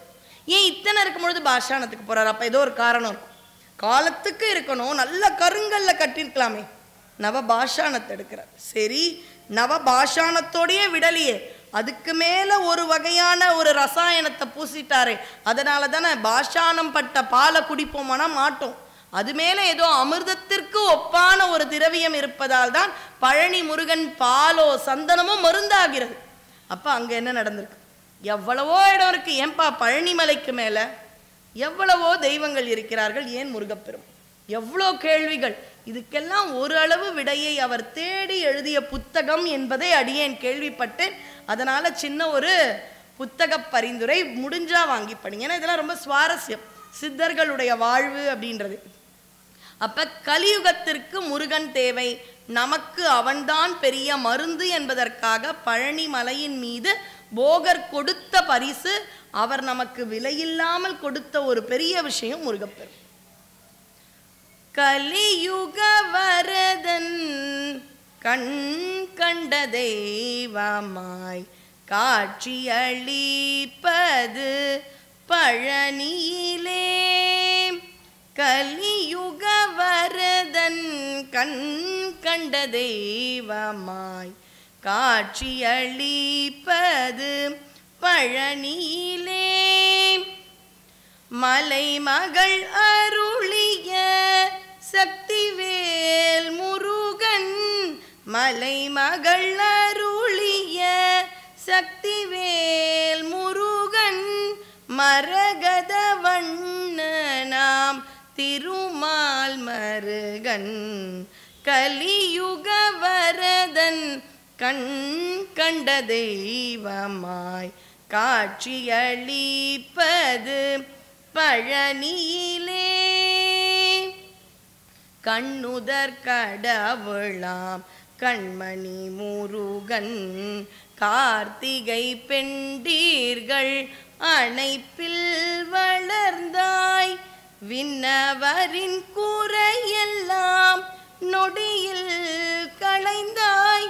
வேண்டுவோர் வேண்டும் முன் வரமெல்லாம் தருவாய். கலியுக வரதன் கண் கண்ட தெய்வமாய் காட்சியளிப்பது பழனியிலே. அப்படிப்பட்ட ஆனந்தத்தை கொடுக்கும் இடம் போகர் நமக்காக கொடுத்த ஒரு வரப்பிரசாதம். அப்போ அறுபடை வீடு ஆவினன் பழனி என்ற ஊர். முருகன் நமக்கு போகர் கொடுத்த ஒரு பரிசு. இந்த முருகனால் புளிய மரத்திற்கு அடியில் அமர்ந்த அவர் நிறைய சித்திகள் பெற்றார். படி வழியாக ஏறி போவோம் யானைப்பாதைன்னு ஒன்று உண்டு. அது கொஞ்சம் ஏறுவதற்கு எளிமையாக இருக்கும். விடாமல் படி இல்லாமல் கொஞ்சம் நடைபாதை படி நடைபாதை பதி இதெல்லாம் செப்பனிட்டது பழனி நாச்சி முத்து சுவாமி. ஏன்னா நம்ம நிறைய விஷயங்களை இன்று அனுபவிக்கின்றோம். அனுபவிக்கும் கட்டத்தில் நாம் இருக்கின்றோம். அயோத்தி கோயிலாகட்டும் பல கோயில்களில் இருக்கும் அழகுகளை ஆகட்டும் நம்ம யாருமே சிலைகளை ஒழித்து வைத்துக்கொண்டு நம்பெருமாளையும் தில்லை நடராஜர் மூர்த்தத்தையும் தொலைத்த காலத்துல இல்லையே. அப்படிலாம் தொலைஞ்சு போய் மறுபடியும் வந்திருக்காங்க. ஆனா இன்னைக்கு நம்ம போனா தரிசிக்கும் அந்த ஒரு சுவை விருந்து தானே நமக்கு இருக்கு. ஆனாலும் சிலர் செய்த திருப்பணிகளை தெரியும் அந்த ஒரு முயற்சி அதை நாம் கண்டிப்பாக செய்யும் அப்படி இவருடைய முயற்சியால் தான் யானை பாதை வருது படியெல்லாம் வருது. சரி இவருக்கு அடுத்த ஆசை வருது. முருகனுக்கு தங்க மயில் பண்ணால் நல்லா இருக்குமே. அவனுக்கு முருகனுக்கு. நாளைக்கு தங்கத்தேர் பண்ணது யாருன்ற ஒரு சுவாரஸ்யமான வரலாறு. ஏன்னா நாளைக்கு முழுக்க நம்ம ஒன்பதாம் திருமுறை அடியார்கள். ஆனால் கண்டிப்பாக பழனிக்கு யார் எப்பொழுது எதனால் தங்கத்தேர் பண்ணாங்க அதெல்லாம் சுவாரஸ்யமாக இதெல்லாம் ரொம்ப போன நூற்றாண்டில் நடந்தது. இதுவாது போன நூற்றாண்டுக்கும் முந்தைய நூற்றாண்டில் நடந்தது தான் இது. ஏன்னா இது வந்து ஆயிரத்தி எட்நூற்றி நாற்பத்தி ஏழில் துறவரம் வராருன்னா அது அதை தொடர்ந்த சில ஆண்டுகளில் இவர் இதெல்லாம் பண்ணியிருக்கோம் தங்கமயில். தங்கமயிலுக்கு நிறைய தங்கம் வேணும். இவரே ஜமீன்தார். இவரோட கொஞ்சம் தங்கத்தை எடுத்துட்டார். இன்னும் தங்கம் தேவைப்படுது. யார்கிட்ட போய் கேட்கலாம்? அப்படின்னு பார்க்கும் பொழுது அந்த இடத்துல இன்றைக்கும் பழனி பக்கத்தில் ஆய்க்குடி ஆயர்குடின்றது ஆய்க்குடி ஆயக்குடின்னு மாறிடுச்சு. அந்த ஆயக்குடியில் திரு குமாரசுவாமி ஏன் இவர் பேரெல்லாம் சொல்லணும்? எல்லாருக்குமே எல்லாத்தையுமே ஞாபகம் வச்சுக்கிற அவசியம் இல்லை. ஆனால் ஒரு விஷயத்தை பதிவு பண்ணும் பொழுது என்னைக்கோ முருகனுக்காக நானூறு பவுன் கொடுத்துருக்காரு. அவங்க வீட்டு பொண்ணுங்களுக்கு ஐம்பது பவுன் நூறு பவுன் இரநூறு பவுன் போட்டு பொண்ணுங்களை அழகு பார்ப்போம். நம்ம வீட்டு குழந்தைகளை.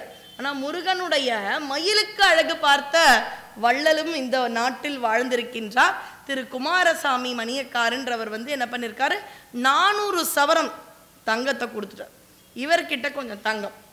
இதெல்லாம் போட்டு முருகனுக்கு அழகான தங்கமயில் வாகனம் ரெடி ஆனால் அழகான கண்ணு வைக்கணுமே.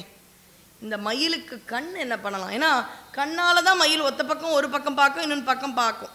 பகைனா மயிலே கொணர்தி உன் இறைவனையேன்னு பகைக்கடிதல்னு பாம்பன் சுவாமிகள் ஒரு பாட்டு எழுதியிருக்கார்.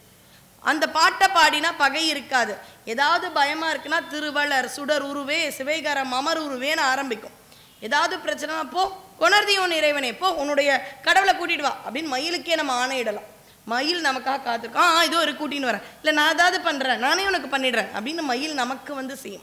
இப்போ அந்த மயில் கண்ணு அழகாக இருக்கணும். எதில் வைக்கலாம்? பொன்னால் வாகனம் பண்ணியாச்சு. இப்போ கண்ணுக்கு என்ன பண்ணலான் இருக்கும் பொழுது சில இடங்களில் அதை மரகதக் கல்லுன்றாங்க. சில இடங்களில் கோமேதக கல்னு அவருடைய சரித்திரத்தில் இருக்கு. இவருக்கு ஞாபகம் வந்துருச்சு. இவர் ஜமீன்தார் இல்லையா? இவர் பரம்பரை பரம்பரையாக ஒரு மரகதக்கல்னே நான் இப்போ சொல்கிறேன் ஒரு மரகதக்கல் இவர்கிட்ட இருக்கு. கிடச்சிதுப்பா ஒரு கண். ஆனால் ஒத்த கண் மயிலாக இருக்கக்கூடாதே. ரெண்டு கண் இருக்கணுமே. அப்போ அதே மாதிரி இன்னொரு மரகதக்கல் அந்த அளவு விலை உயர்ந்த மரகதக்கல். அது என்ன விலை உயர்ந்த மரகதக்கல்? அஞ்சாயிரத்துலையும் வைரமுக்குத்தி வாங்கலாம். ஐம்பதாயிரத்துலேயும் வைரமுக்குத்தி வாங்கலாம். அதில் இருக்கிற கல்லினுடைய மதிப்பு தான் மாறுபடும். இதை தான் அபிராமி அந்தாதியில் சொல்கிறாங்க உணர்வுடையோர் மதிக்கின்ற மாணிக்கம். என்கிட்ட கொடுத்தீங்கன்னா அதோடைய மதிப்பு எனக்கு தெரியாது. ஆனால் உணர்வு எக்ஸ்பர்ட்ஸ்ன்னு இருப்பாங்க. ஆங்கிலத்தில் ஜெம்ஸ் எக்ஸ்பர்ட் அப்படின்வாங்க அவங்களுக்கு தெரியும் இதனுடைய மதிப்பு அஞ்சாயிரம் ஐம்பது லட்சம் ஐம்பது கோடி. அத்தனூண்டு கல் தான் அதை எதை வச்சு கண்டுபிடிப்பாங்கன்றது நமக்கு தெரியாது. அப்போ அதே மாதிரி மரத ஒரு கண் ஒரு மாதிரி இன்னொரு கண் இன்னொரு மாதிரி இருந்தால் நல்லா இருக்காது. இவர் பார்க்குறாரு இதே மாதிரி என்கிட்ட ஒரு கண்ணு கிடைச்சிருச்சு இன்னொரு கண்ணு எங்க? அப்படின்னு இப்போ அவருக்கு கிடைத்த சித்தியை பயன்படுத்தி கணமூடி யோசிக்கிறார். எங்கே இருக்கு? ஆஹா இது வந்து இன்னொரு ஜமீன்தார்கிட்ட இருக்குப்பா. அந்த ஜமீன்தார்கிட்ட போய் நான் கேட்க போகிறேன் யார் அவர்? அப்படின்னு பார்த்தீங்கன்னா கள்ளிக்கோட்டை அப்படின்ற கேலிக்கட் அவருடைய கொச்சி கிட்டேயே. அந்த இடத்துல இருக்கிற ஒரு இடத்துல இருக்கிற ஜமீன்தார் மகாராஜா அவர்கிட்ட போகிறார் கிளம்பி போயிட்டார். உடனே போயிடுவாங்க சித்தர்கள்லாம். இன்னைக்கு கூட திருவி கல்யாண சுந்தரம் அப்படின்ற ஒரு பெரும் தமிழ் எழுத்தாளர். அவருடைய தமிழ் எழுத்துல எழுதியிருக்காரு. திருவான்மியூர் பாம்பன் சுவாமிகள் கோயில் உங்கள் எல்லாருக்கும் தெரிஞ்சிருக்கும். அதுக்கு பக்கத்திலேயே சக்கரை அம்மன் என்ற ஒரு பெண் சித்தர். அவர்கள் வானூர்தியாக அப்படியே நடந்து வானத்திலேருந்து கீழே வந்து அப்படியே மொட்டை மாடியில் இறங்கி கீழே வந்ததை கண்ணால் பார்த்துருக்கேன்னு எழுதியிருக்கேன் ராயப்பேட்டா உட்லண்ட்ஸ் தேட்டர் வெஸ்லி சர்ச்லாம் இருக்கு இல்லையா? அந்த மணிகூண்டு இன்னும் சொல்லப்போனால் அந்த இடத்துக்கிட்ட வானத்தின் வழியாக சர்க்கரை அம்மன் பறந்து ஒரு மொட்டை மாடியில் இறங்கி கீழே வந்ததை நான் பார்த்துருக்கேன்ற மாதிரி ஐயா அவர்கள் எழுதியிருக்கார். அப்படி சித்தர்கள் நினைச்சா நினைச்ச மாத்திரத்தில் எங்கே வேணாலும் போங்க. அப்படிதான் உணவு பற்றாக்குறை என்றால் லா- ராமலிங்க வள்ளலார் அப்படியே அங்கே வடலூர்லேருந்து சீக்கிரம் எங்கேயாவது போவாராம் யார்கிட்டையாவது மூட்டை மூட்டையாக வாங்கிட்டு வந்து அவருடைய அந்த தர்மசாலையில் உணவை திருப்பியும் ஸ்டோர் பண்ணி வச்சுருவார் அந்த மாதிரி சித்திகள். இப்போ இவர் என்ன பண்ணிட்டார்? நேராக கள்ளிக்கோட்டைக்கு போயிட்டார். போன உடனே ஒரு பெரிய மகான் பழனிலேருந்து வந்திருக்கார். கொச்சியில் வாழ்ந்த ஜமீன்தார் தான் இப்போ மகானா போயிட்டார். இதெல்லாம் ஊர் முழுக்க பரவி இருக்கும் இல்லையா? வந்த உடனே வாங்கன்றார். போனோடனே கேட்குறாரு வந்து பேசலாம் நேரம் இல்லை. பையன்கிட்ட ஒரு மரகதக்கல் இருக்குது இதே மாதிரி விலை உயர்ந்த இன்னொரு மரகதக்கல் உங்ககிட்ட இருக்கு. நான் பார்த்துட்டேன். நீ கொடுத்தனா மயிலுக்கு இன்னொரு கண்ணாகும். முதல்ல அப்படி ஒரு மரகதக்கல் இருக்கிறதே ஜமீன்தாருக்கு தெரியல சொத்து. அந்த மகாராஜாக்கு. என்கிட்ட அப்படி இல்லைன்னு நினைக்கிறேன். இருங்க இருங்க பார்க்குறேன்னு லிஸ்ட்டு வச்சுருக்காரு. ப்ராப்பர்ட்டி லிஸ்ட் அண்ட் எல்லாத்தையும் வச்சு பார்க்குறாரு. பாருங்களேன் தங்கம் இவ்வளோ வைரமாயிடும். மரகதக்கல்லே இல்லையே. திருப்பி அங்கே உட்காந்து கண்ணை மூடுறார். போ அந்த பெட்டியில் முலையில் ஒரு அழுக்கு துணிக்குள்ளே இருக்குது போய் பார் அப்படின்றார் வலது ஓரத்தில். உடனே அவர் சொல்கிற பொட்டியை போய் தேடுறார் திறக்கிறாரு. ஏதோ பழைய நகைகள்லாம் இருக்குது அந்த இடத்துல ஒரு அழுக்கு துணி அழுக்கு துணியை திறந்தா உள்ள ஒரு பச்சை. அதாவது இதை பார்க்கும் பொழுது என்ன தோணுதுன்னா அழுக்கு துணிக்குள்ள இருக்கிறது அழுக்கு துணி தான். அதனால உள்ள இருக்கிற மரகத கல்லுனுடைய விலையோ மதிப்போ குறைஞ்சிருக்குமானா குறைஞ்சே இருக்கு. அந்த அழுக்கு துணி எது தெரியுமா? இந்த உடம்பு. நம்ம ஆன்மா எது தெரியுமா? அந்த மரகத பச்சை. குரு இருந்தா கண்டுபிடிச்சிடும். அப்படிதான் குருவா போனார் அது இருக்குன்ட்டார். அதை பார்த்த உடனே இது அவ்வளோ வேல்யூவான்றார் ஏன்னா அவருக்கு இப்படி ஒரு கல் இருக்கிறதே அவரோட ப்ராப்பர்ட்டி டாக்குமெண்ட்லேயே இல்லை. அசட் டாக்குமெண்ட்டில் கிடையாது. எந்த இடத்துலையும் அசட்டாக அது இல்லை. ஆஹா இதுக்கு இவ்வளோ மதிப்பு? ஆமாம் எவ்வளோ மதிப்பு தெரியும்? அப்படின்ட்ட உடனே கொடுக்குறியா? முருகனுக்கு எடுத்துன்னு வந்தேன் அவர் கொஞ்சம் இதுவாயிடுச்சு. கொடுக்கணுமா? இல்லை இதை நான் வச்சுக்கட்டுமா? இவ்வளோ பெரிய விலையுயர்ந்த கல் என்கிட்ட இருக்கிறதே தெரியாது இப்போ இருக்குது இதை நான் வச்சுக்கலான்னு பார்க்குறேன் சொல்லவும் கஷ்டம். அதுக்குன்னு இவ்வளோ பெரிய கல்லை கொடுக்குற மனசும் இல்லை. உடனே என்ன பண்ணிருக்கலாம்? அவர் நினச்சா நீ கல்லா போ. நீயே இந்த மரத கல்லா இங்கே உட்காரு. இல்லை நீ மயிலா இப்படி உட்காரு. அப்படிலாம் சொல்லியிருக்கலாம் ஆனால் அவர் யோசிச்சாராம். ஒரு கல் என்கிட்ட இருக்கு. இதனால் எனக்கு எதுவுமே இல்லை. என்கிட்ட ரெண்டு கல்லும் இருந்தா தங்க மயிலுக்கு ரெண்டு கண்ணாக வச்சுடுவேன். நான் ஒரு சித்தன் ஞானி. எனக்கு எதுக்கு இந்த கல் இனிமே? உனக்கு அந்த கல் வேணும் தர முடியாதுன்ட்ட இந்த கல்வி நீ வச்சுக்கோ. உனக்கு எதுக்காவது தேவைப்படும் உனக்கு எப்பாவது பணம் குறைஞ்சதுன்னா இது உனக்கு உபயோகமாக இருக்கட்டும். நான் தரேன் உனக்கு. அப்படின்னு கொடுக்கும் பொழுது அவருடைய கை ஸ்பரிசம் பட்டுதான். அந்த கை ஸ்பரிசம் பட்ட அந்த க்ஷணத்தில் அவர் பார்த்தாராம். என் வாழ்க்கைக்கு அப்புறம் இது என்ன? என் பொட்டியில் இருக்கிற ரெண்டு கல்லாக இருக்கும். இல்லை பணமாக மாறி இருக்கும். இல்லை அடுத்த தலைமுறைக்கு போயிருக்கும். ஆனால் முருகனுடைய தங்க மயிலுக்கு கொடுத்தா இந்த மரகதக்கல் எல்லா நாளும் அந்த கண்ணை வச்சுட்டு பக்தர்களை பார்த்துட்டே இருக்குமே. இந்த கல் இந்த பொட்டியில் தூங்குறதுக்கு இங்கேயே போலான்ற அந்த வள்ளல் தன்மை அவருடைய ஸ்பரிச தன்மை வந்த உடனே கொடுக்கிற மனசு வந்துடுச்சு அப்போ அவர் வாங்கிண்டார் ரெண்டு கல்லையும் பார்த்தார். இல்லை இந்த முருகனுடைய மயில் கண்ணாக இருக்கிறது தான் நல்லது. இப்படி தானே ஒழுங்காக பணத்தோட போனார் மாணிக்க வாசகர் குதிரை வாங்க. இந்த சுவாமி கூப்பிட்டு உருந்த மரத்தடியில் உட்கார வச்சு தொட்டு ஸ்பரிச தீட்சை கொடுத்து பார்த்து நயன தீட்சை கொடுத்து காலை தூக்கி தலையில் வச்சு திருவடி தீட்சை கொடுத்து அப்படியே ஞானம் கொடுத்து ஞான தீட்சை. ஒரே சமயத்தில் எவ்வளோ தீட்சை? ஸ்பரிச தீட்சை நயன தீட்சை திருவடி தீட்சை ந- ஞான தீட்சை. இத்தனையும் கொடுத்த உடனே குதிரை வாங்கணும் ராஜா காசு ராஜா காசுன்னு வச்சதை திருப்பணிக்கு அவர் கொடுத்துட்டு. அந்த ஸ்பரிசம் பட்ட உடனே இதெல்லாம் நிலையே இல்லைல்ல. அது வரைக்கும் இது மொபைல் இது இவ்வளோ ரூபா இது தங்கம் அப்படிலாம் தோணும். அந்த சுவாமி அவ இந்த குருவினுடைய பார்வை இதெல்லாம் பட்ட உடனே இதெல்லாம் ஒன்றுமே இல்லைப்பா. எல்லாத்த விட உயர்ந்தது இந்த ஆன்மா தானே. அப்படின்ற அந்த ஒரு விழிப்புணர்வு வந்து அவர் அந்த கல்லை கொடுத்துட்டார்.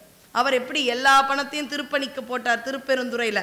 அது மாதிரி இவர் கல்லை கொடுத்தாரு. அந்த ரெண்டு கல்லையும் எடுத்துன்னு வந்து ரொம்ப அழகாக அந்த மயிலுக்கு கண்ணை பதித்து முதல் முதலில் தங்க மயிலில் பழனி முருகப்பெருமானை பவனி செய்ய வைத்தது நம்முடைய சுவாமி. சுவாமிகளுக்கெல்லாம் எவ்வளோ நாள் இருப்போன்றது தெரிஞ்சிடும் எவ்வளோ நாள் இருப்போம் எப்போ எங்கே நான் சித்தியாவேன் அது மாதிரி அவர் சொல்லிட்டார். இந்த சமயத்தில் நான் நான் ரொம்ப நேரம் தவத்தில் இருப்பேன் அப்படியே சமாதி நிலைக்கு போயிடுவேன். அதுக்கப்புறம் என்ன எங்கே நீங்கள் வைக்கணும் அப்படிலாம் சொல்லிட்டேன் அப்படி ராமாயண சாவடி பிட்டுக்கு மண் சுமந்த அந்த இடம் இருக்கு இல்லையா அந்த இடத்துல ஆயிரத்தி தொள்ளாயிரத்தி ஒன்பது அப்படின்னு செவி வழி செய்தி அந்த சமயத்தில் மீனாட்சி கல்யாணம் நடக்குது அன்னைக்கு. மீனாட்சி கல்யாணம் நடக்கும் பொழுது பார்த்தீங்கன்னா இன்றைக்கும் நிறைய பெண்கள் அங்கே உட்கார்ந்து திருக்கல்யாணத்தை பார்ப்பாங்க. சுவாமிக்கும் அம்பாளுக்கும் அந்த மாங்கல்ய தாரணம் நடக்கும். அந்த சமயத்தில் அவர்களும் அந்த திருமாங்கல்யத்தை மாத்திக்கிற ஒரு காட்சிகள் மதுரையில் பார்க்கலாம். எவ்வளவு திருக்கோ பொதுவாக திருக்கோயில்களில் அவங்க ஊர் அம்பிகைக்கும் இறைவனுக்கும் திருமணம் நடக்கும் பொழுது வருவார்கள் பெண்கள் வந்து அவங்க வீட்டு திருமணமாக கொண்டாடுவார்கள். ஆனால் மீனாட்சி திருக்கோயிலில் மட்டும் பார்த்தீங்கன்னா மாற்று மஞ்சள் கயிறு எடுத்துன்னு வந்துடுவாங்க அங்கே அம்பாளுக்கு சுவாமிக்கு அந்த திருமணம் நிறைவடைந்த உடனே அன்னைக்கு நாள் நட்சத்திரம் எதுவும் கிடையாது. அந்த சித்ரா பௌர்ணமி சனிக்கிழமையா கூட இருக்கலாம் என்றைக்கு வேணாலும் இருக்கலாம் இல்லையா? அந்த சித்திர மாதத்தில் வரும். எந்த நாளாக இருந்தாலும் பரவாயில்ல. உடனே இவங்களும் அந்த திருமாங்கல்யத்தை மாற்றிப்பாங்க கணவனும் மனைவியும் சேர்ந்து இருக்கணும். எதனால்? சுவாமி அம்பாளும் சேர்ந்து கல்யாணம் பண்ணிட்டாங்க. அப்போ வயசானவங்களுக்கு திருமணமே இல்லாமல் இருக்கிறவங்களுக்கு இறைவனோட நான் சேரணும். இறைவனோட ஒன்றா இருக்கணும். ஜீவாத்மாவும் பரமாத்மாவும் சேரணும். அதுதான் அவங்களுக்கான திருமணம். அதனால் மீனாட்சி சுந்தரேஸ்வரர் திருமணத்தன்று இவரும் இறைவனோடு கலந்தார். இன்னைக்கு நீங்கள் போனாலும் அந்த சுவாமியினுடைய அந்த அஷ்ட என்ன சொல்கிறது பிருந்தாவனம்னு சொல்லுவாங்க அதிஷ்டானம்னு சொல்லுவாங்க. அவருடைய திருக்கோயில்னு ஒன்று இருக்குது அந்த இடத்துல லிங்க திருமேனியாக ஏன்னா நிறைய இடங்களில் பார்த்தீர்கள் என்றால் சித்தர் கோயில்களில் சித்தர்களுடைய சமாதியில் லிங்க திருமேனி தான். பட்டினத்தாருடைய சமாதி அங்க போய் பார்த்தீங்கனாலும் என்ன இருக்கும்? லிங்க திருமேனி தான் இருக்கும். மயிலையில பார்த்தீங்கன்னா முத்தையா சுவாமிகள் அப்படின்ற ஒரு சித்தர் சித்திரக்குளத்துக்கிட்ட இருக்கார். அந்த கோயிலுக்குள்ள போய் பார்த்தீங்கனாலும் அங்க இருக்கிற சித்தர் சன்னதியில லிங்க திருமேனியாக இருக்கும். சிவமாக மாறிவிட்டார்கள் என்பதை தான் சித்த புருஷர்கள் உணர்த்துகின்றார்கள் என்ற அளவில் நாம் இப்பொழுது பழனி நாச்சிமுத்து சுவாமிகள் அவர்களுடைய குருவருளாலும் இறைவனுடைய திருவருளாலும் அவருடைய வாழ்க்கை வரலாற்றினை நாம் தெரிந்து கொள்ளும் வாய்ப்பு இதிலிருந்து என்ன தெரியுது? நம்மால் முடிந்த அளவு முடிந்த அளவு பிறருக்கு திருக்கோயிலுக்கு பத்து ரூபானாலும் பண்ணணும் நேற்று கூட நாகராஜன் ஐயா ரொம்ப அருமையாக சொன்னான் பத்து ரூபா தான் முடிதான் ஐம்பது ரூபா அன்னதானம்னா கொடுத்துருங்க. நீங்கள் தான் அத்தனை அன்னதானத்தையும் எடுத்து நடத்தணும்னு சுவாமி கேட்கல நம்மால் இயன்றதை கொடுங்கள். பழனியை பற்றிய ஏற்றம் இன்னும் ஒரு செய்தி சொல்லிட்டு அடியேன் என்று ஒன்பதாம் திருமுறையை துவங்குகின்றேன். நாளைய தினம் திருமாளிகை தேவர். அடிக்கடி திருமாளிகை தேவர். கருவூர் சித்தர் சேந்தனார் பேரை கேட்போம். ஆனால் அவங்கள பற்றி பெருசாக நமக்கு அறிமுகங்கள் இல்லை. ஈசான்ய சிவாச்சாரியார்னு ஒருத்தர். யார் இவர் அப்படின்னு பார்த்தீங்கன்னா கிருபானந்த வாரியாருக்கும் குருவாக போற்றப்பட்டவர். அவரே ஒரு பெரிய சுவாமிகள் அவருக்கும் குருவாக போற்றப்பட்டவர். அவர் என்ன பண்ணாராம்? ஒரு நாள் நல்லா வாழ்ந்துட்டேன். பலருக்கும் தீட்சைகள்லாம் கொடுத்துட்டேன். இனிமே என்னுடைய வாழ்க்கை முடிய போது காசிக்கு போயிடலான்னு பார்க்குறேன். ஏன்னா காசியில் இறக்க முக்தி. போகலாம். எப்பவுமே பார்த்தீங்கன்னா உள்ளூரில் ரொம்ப காலமாக இதுதான் என்னுடைய ஊர்னு வச்சுக்கோங்களேன். நான் ஒரு ரொம்ப நாள் ஊருக்கு போகிற மாதிரி வேலை நிமித்தமாக ரெண்டு மாதம் போகிறேன்னா என்ன பண்ணுவோம்? நேராக வந்து ஸ்வர்ணாம்பிகை கிட்டேயும் காரணீஸ்வரர் கிட்டேயும் இந்த மாதிரி நான் ஊருக்கு போகிறேன் உன்னுடைய அருளால் நான் போயிட்டு வரணும். வீட்டை பார்த்துப்போம். யார் அவரை விட நம்ம வீட்டை பார்த்துக்க முடியும்? சொல்லுங்கள் நாங்கள்லாம் ஊருக்கு போனால் கற்பாம்பாள் கோயில் போயிட்டு தான் போவோம். அது மாதிரி இவர் பல காலம் வாழ்ந்தவர் பழனி முருகனுக்கெல்லாம் சொல்லிட்டு போனேன். ஏன்னா அவர் போக போகிறதே காசி இறக்க காசிக்கு போகிறார் திரும்பி வர ஐடியாலாம் கிடையாது. அதனால் என்ன பண்ணுறா இந்த ஈசான்ய சிவாச்சாரியார் இந்த சுவாமிகள் வந்து பழனி மலைக்கு போகிற மலையெல்லாம் ஏறி முருகன் கிட்ட முருகா உன்னுடைய அருள் நிறைய அனுபவம். சந்தோஷமாக இருந்த போதும். என்னைக்கு என்னை நீ அழைத்து கொள்வாயோ ஆயத்தமாக இருக்கின்றேன். இந்தோ காசிக்கு கிளம்புறேன். அப்படின்னு மனமுருகி வேண்டிட்டு இருக்கும் பொழுது இப்போ நம்ம கோயிலுக்குள் நுழையும் போது பார்த்தீங்கன்னா இங்கே அருமையாக திருமுறைகள் எல்லாம் இசைக்கிறாங்க. நான் சுவாமியை அப்படியே வலம் வரும் பொழுது சிதம்பர சுவாமிகளுடைய திருப்போரூர் சன்னதி முறையிலேருந்து ஒரு பாடல்லாம் பாடுறாங்க. அப்போ நம்ம ஏதாவது வேலை பண்ணாலும் நல்ல தமிழ் பாடல்களோ நல்ல ராகங்களோ நம்ம ஈ- ஈர்க்கும் இல்லையா? இப்படியே போகிறோம் எங்கேயாவது ஒரு இடத்துல அறிவராசனம் கேட்டோம்னா நம்ம என்ன பண்ணுவோம்? ஒரு நிமிஷம் நம்முடைய சிந்தை அப்படியே மாறும். உள்ளம் முருகும். அது மாதிரி இவர் அப்படியே முருகன் கிட்ட முருகா இனிமேல் நான் உன்னை என்னைக்கு பார்க்க போகிறேனோ காசிக்கு போகிறேன் அப்படிலாம் இருக்கும் பொழுது ஒரு திருப்புகழை அந்த ஓதுவார் பாடுறார் அந்த கோயிலில். என்னவா? திருப்புகழுடைய வரி வருது. காசியின் மீறிய பழனா புரிவாள் பெருமாளே. என்னப்பா? காசி நாசினி ஆமாம் காசியை விட சிறப்பான இடம்னா இந்த பழனின்ற மாதிரி ரொம்ப அழகா அருணகிரியாட வரிகள் இங்கே வருது அதப்பான் ஓ அப்படியா. திரும்பி கிளம்பிட்டார். என்னாச்சு? இல்லை இல்லை பழனிலே இருக்க போகிறான் காசிக்கு போகிற மாதிரி இல்லை. அப்படியான ஒரு அற்புத தலம் காசி. இதெல்லாம் பார்க்கும் பொழுது கிருஷ்ணருடைய பகவத்கீதையில் வரும். எதை கொண்டு வந்தோம் இழப்பதற்கு எதை எடுத்தாயோ அது இங்கிருந்து எடுத்தப்பட்டது. போகும்போது எல்லாத்தையும் நீ வச்சுட்டு போற. இதே பொருளோட பட்டினத்தார் பாடி இருக்கும் ஒரு பாடல். பிறக்கும் பொழுது கொடு வந்ததில்லை. எதையும் எடுத்துன்னு வரல நம்மளாம் பிறந்து மண்மேல் இறக்கும் பொழுது கொடு போவதில்லை. இடைநடுவில் குறிக்கும் இச்செல்வம் சிவன் தந்தது என்று கொடுக்க அறியாது. இறக்கும் குலாமருக்கு என் சொல்லுவேன் கட்சி ஏகம்பனே. நீ கொடுத்த செல்வம்னு தெரிஞ்சும் கூட கொடுக்க மனசு இல்லாமல் இருக்காங்களே. பிறக்கும் பொழுது மேனியில் ஒரு சட்ட துணி கூட கிடையாது. இப்போவும் பார்த்தீங்கன்னா பிரசவத்துக்கு பெண் அந்த மருத்துவமனைக்கு இப்போலாம் போகும் பொழுது தாயெலாம் குறிப்பறிந்து செயல் பண்ணுவாங்க. எனக்கெல்லாம் பிரசவம் இருக்கும்போது எங்கள் அம்மாலாம் என்ன பண்ணாங்கன்னா பிறக்கிற குழந்தைய வாங்குறதுக்கு வீட்டில் ஒரு மெத்து மெத்துன்னு இருக்கிற ஒரு காட்டன் saree எடுத்துக்கணும் அப்படின்றத எடுத்துன்னு போவோம். ஏன்னா குழந்தைய எந்த மருத்துவமனையிலையோ இல்லை இறைவனோ சட்டை போட்டு கொடுக்கறதில்ல. பிறந்த மேனியா இருக்கிறது. எதுவுமே எடுத்துன்னு வரல. போகும்போது எடுத்துன்னு போல. நடுவில் சிவன் தொன் கொடுத்ததையே கொடுக்க மாட்டேன்னு சொல்கிறத பார்த்தா நகைச்சுவையாக இருக்குது இதை யார்கிட்ட சொல்கிறது கட்சி ஏகம்பனே என்று அவர் பாடிய பாடல். அதோடு ஒன்பதாம் திருமுறை திருவிசை பா திருப்பல்லாண்டு. இது எந்த அளவு ஏற்றம் என்றால் ஒரே வரியோடு இன்று அடியை நிறைவு செய்யும் நேரம்னு நினைக்கிறேன் பஞ்சபுராணம்னு பாடுவாங்க. பன்னிரண்டு திருமுறைகளில் ஒவ்வொரு திருமுறையுமே இறைவனுக்கு விண்ணப்பம் வைக்கணும். ஆனால் நேரம் இல்லை அப்படின்னா ஒரே ஒரு திருமுறை பாடும் நிலையும் இருக்குது ஆனால் திருமுறைகள் பாடுகிறார்கள். அதுலேயும் ரொம்ப சிறப்பு என்னவென்றால் பஞ்சபுராணம் பாடுவது. அது என்ன பஞ்சபுராணம்? அப்படின்னு பார்த்தீங்கன்னா முதல் ஏழு திருமுறைக்கு ஒரு பாட்டு. எட்டாம் திருமுறை திருவாசகத்துக்கு ஒரு பாட்டு. அப்படின்னா என்ன அர்த்தம்? சம்பந்தர் நாவுக்கரசர் சுந்தரர். மூணு பேருக்கும் சேர்த்து எட்டாயிரத்தி சில்லற தமிழ் பாட்டில் ஒரே பாட்டு. அறுநூத்தி ஐம்பத்தி எட்டு திருவாசகம் நானூறு திருக்கோவையார் இந்த திருவாசகத்திலிருந்து ஒரு பாட்டு. அஞ்சு பாட்டு எட்டாயிரத்துக்கு வெயிட்டேஜ்னு வாங்க கணக்கில். எட்டாயிரத்துலேருந்து ஒன்று ஆனால் அது இந்த அறநூறுலேயே ஒன்றாயிடுது அப்போ அந்த அறநூறோட வெயிட்டை பாருங்கள் இது தாழ்த்தியானா கிடையாது. அம்மா சிறப்பா அம்மா அப்பா சிறப்பாலாம் பேசக்கூடாது. எல்லாமே நமக்கு சிறப்பு. இந்த அறநூறில் ஒன்று அடுத்தது இந்த ஒன்பதாம் திருமுறையை பற்றி தெரியல. ஆனால் திருவிசைப்பாலேருந்து ஒன்று திருப்பல்லாண்டுலேருந்து ஒன்று அப்புறம் பெரிய புராணத்தில் ஒன்று பெரிய புராணம் திருப்பி நாலாயிரத்தி இரநூத்தி சில்லற நாலாயிரத்தி இரநூத்தி சில்லறையில் ஒன்று சரி எட்டாயிரத்தி சில்லற சரி அறநூறு கூட சரிங்க. ஆனால் நடுவில் இருக்கு இல்லையா? இந்த திரு இசைப்பான முந்நூற்றி ஒரு பாட்டு. இதுக்கு ஒரு பாட்டு. அதை விட இன்னும் அளவுக்கு அதிகமான ஒரு அற்புதம் என்னன்னா பதிமூணே பாட்டு திருப்பல்லாண்டு அதில் ஒன்று பாடும் எட்டாயிரம் எங்க நாலாயிரம் எங்க பதிமூணுல என்ன? அப்படின்னா திருவிசைப்பா திருப்பல்லாண்டு சேர்ந்தது தான் ஒன்பதாம் திருமுறை. அந்த ஒன்பதாம் திருமுறையே இந்த பஞ்ச பாட்டுள் ஒன்றாக இருக்கின்றது. நான் சொல்றது பஞ்சத்தை கொடுக்கறது இல்லை பஞ்சன்ற அஞ்சு பாட்டில் ஒன்றா இருக்குன்னா அப்போ அந்த திருவிசைப்பா அப்படின்றது எவ்வளவு ஒரு சிறப்பு வாய்ந்த பாடல் தொகுப்பாக இருக்கும். அதை பற்றி தான் பார்க்குறோம். ஒன்பதாம் திருமுறை. இதை பார்த்தீங்கன்னா ஒன்பது அடியார்கள் பாடியிருக்கின்றார்கள்.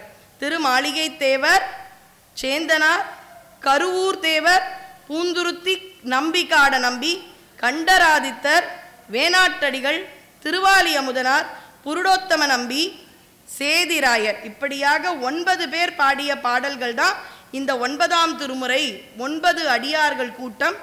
இதிலிருந்து நாம் திருமாளிகை தேவரை பற்றியும் கொஞ்சம் கருவூர் சித்தரை பற்றியும் அதன் பிறகு நிறைவாக நமக்கு சேந்தனார் அருளி செய்த அந்த அற்புத பாடல் அப்படின்னு சொல்லக்கூடிய நம்முடைய பல்லாண்டு இறைவனுக்கே பல்லாண்டு பாடுகிறார்கள். இதுவாக நாளைக்கு நாம் ஒன்பதாம் திருமுறை அருளாளர்களை பற்றி சிந்திப்போம் என்று இந்த அளவில் நாம் நம்முடைய சொற்பொழிவினை நிறைவு செய்கின்றோம். ஆரம்பத்தில் சொன்ன இறைவன் வரப்போறார்னா முதல்ல அவருடைய கருணை நீர் வழியாக வரும் வெள்ளமாக வரும். அப்படிதான் இன்னைக்கு வந்த மழையும் அடியேன்னு பார்க்குறேன் மழையை மீறியும் இந்த பனிக்காலத்தில் இத்தனை அன்பர்கள் வந்திருக்கிறீங்கன்னா நீங்களாம் பரிபூரணமாக அந்த இறையின் அருளை பெற்றவர்கள். அதனால் இங்கு வந்திருந்த உங்கள் அனைவருக்கும் இந்த விழாவினை ஏற்பாடு செய்த ஐயா ஒருங்கிணைப்பாளருக்கும் தொண்டர் சீர் திருக்கூட்டத்திற்கும் இந்த திருக்கோயிலின் நிர்வாகத்தினருக்கும் இறைவனும் இறைவியும் எல்லா வளமும் தருவார்கள் என்று இந்த மட்டில் அடியே நிறைவு செய்கின்றேன். வான்முகில் வழாது பெய்க மலிவளம் சுரக்க மன்னன் கோன்முறை அரசு செய்க குறைவிலாது உயிர்கள் வாழ்க நான் மறையரங்கள் ஓங்க நற்றவம் வேள்வி மல்க மேன்மை கொள் சைவ நீதி விளங்குக உலகமெல்லாம் திருச்சிற்றம்பலம். நன்றி வணக்கம். இந்த தகவல் உங்களுக்கு பிடிச்சிருந்தா லைக் பண்ணுங்க உங்க ஃப்ரெண்ட்ஸுக்கு ஷேர் பண்ணுங்க. மறக்காம எங்க சேனலுக்கு சப்ஸ்கிரைப் பண்ணுங்க.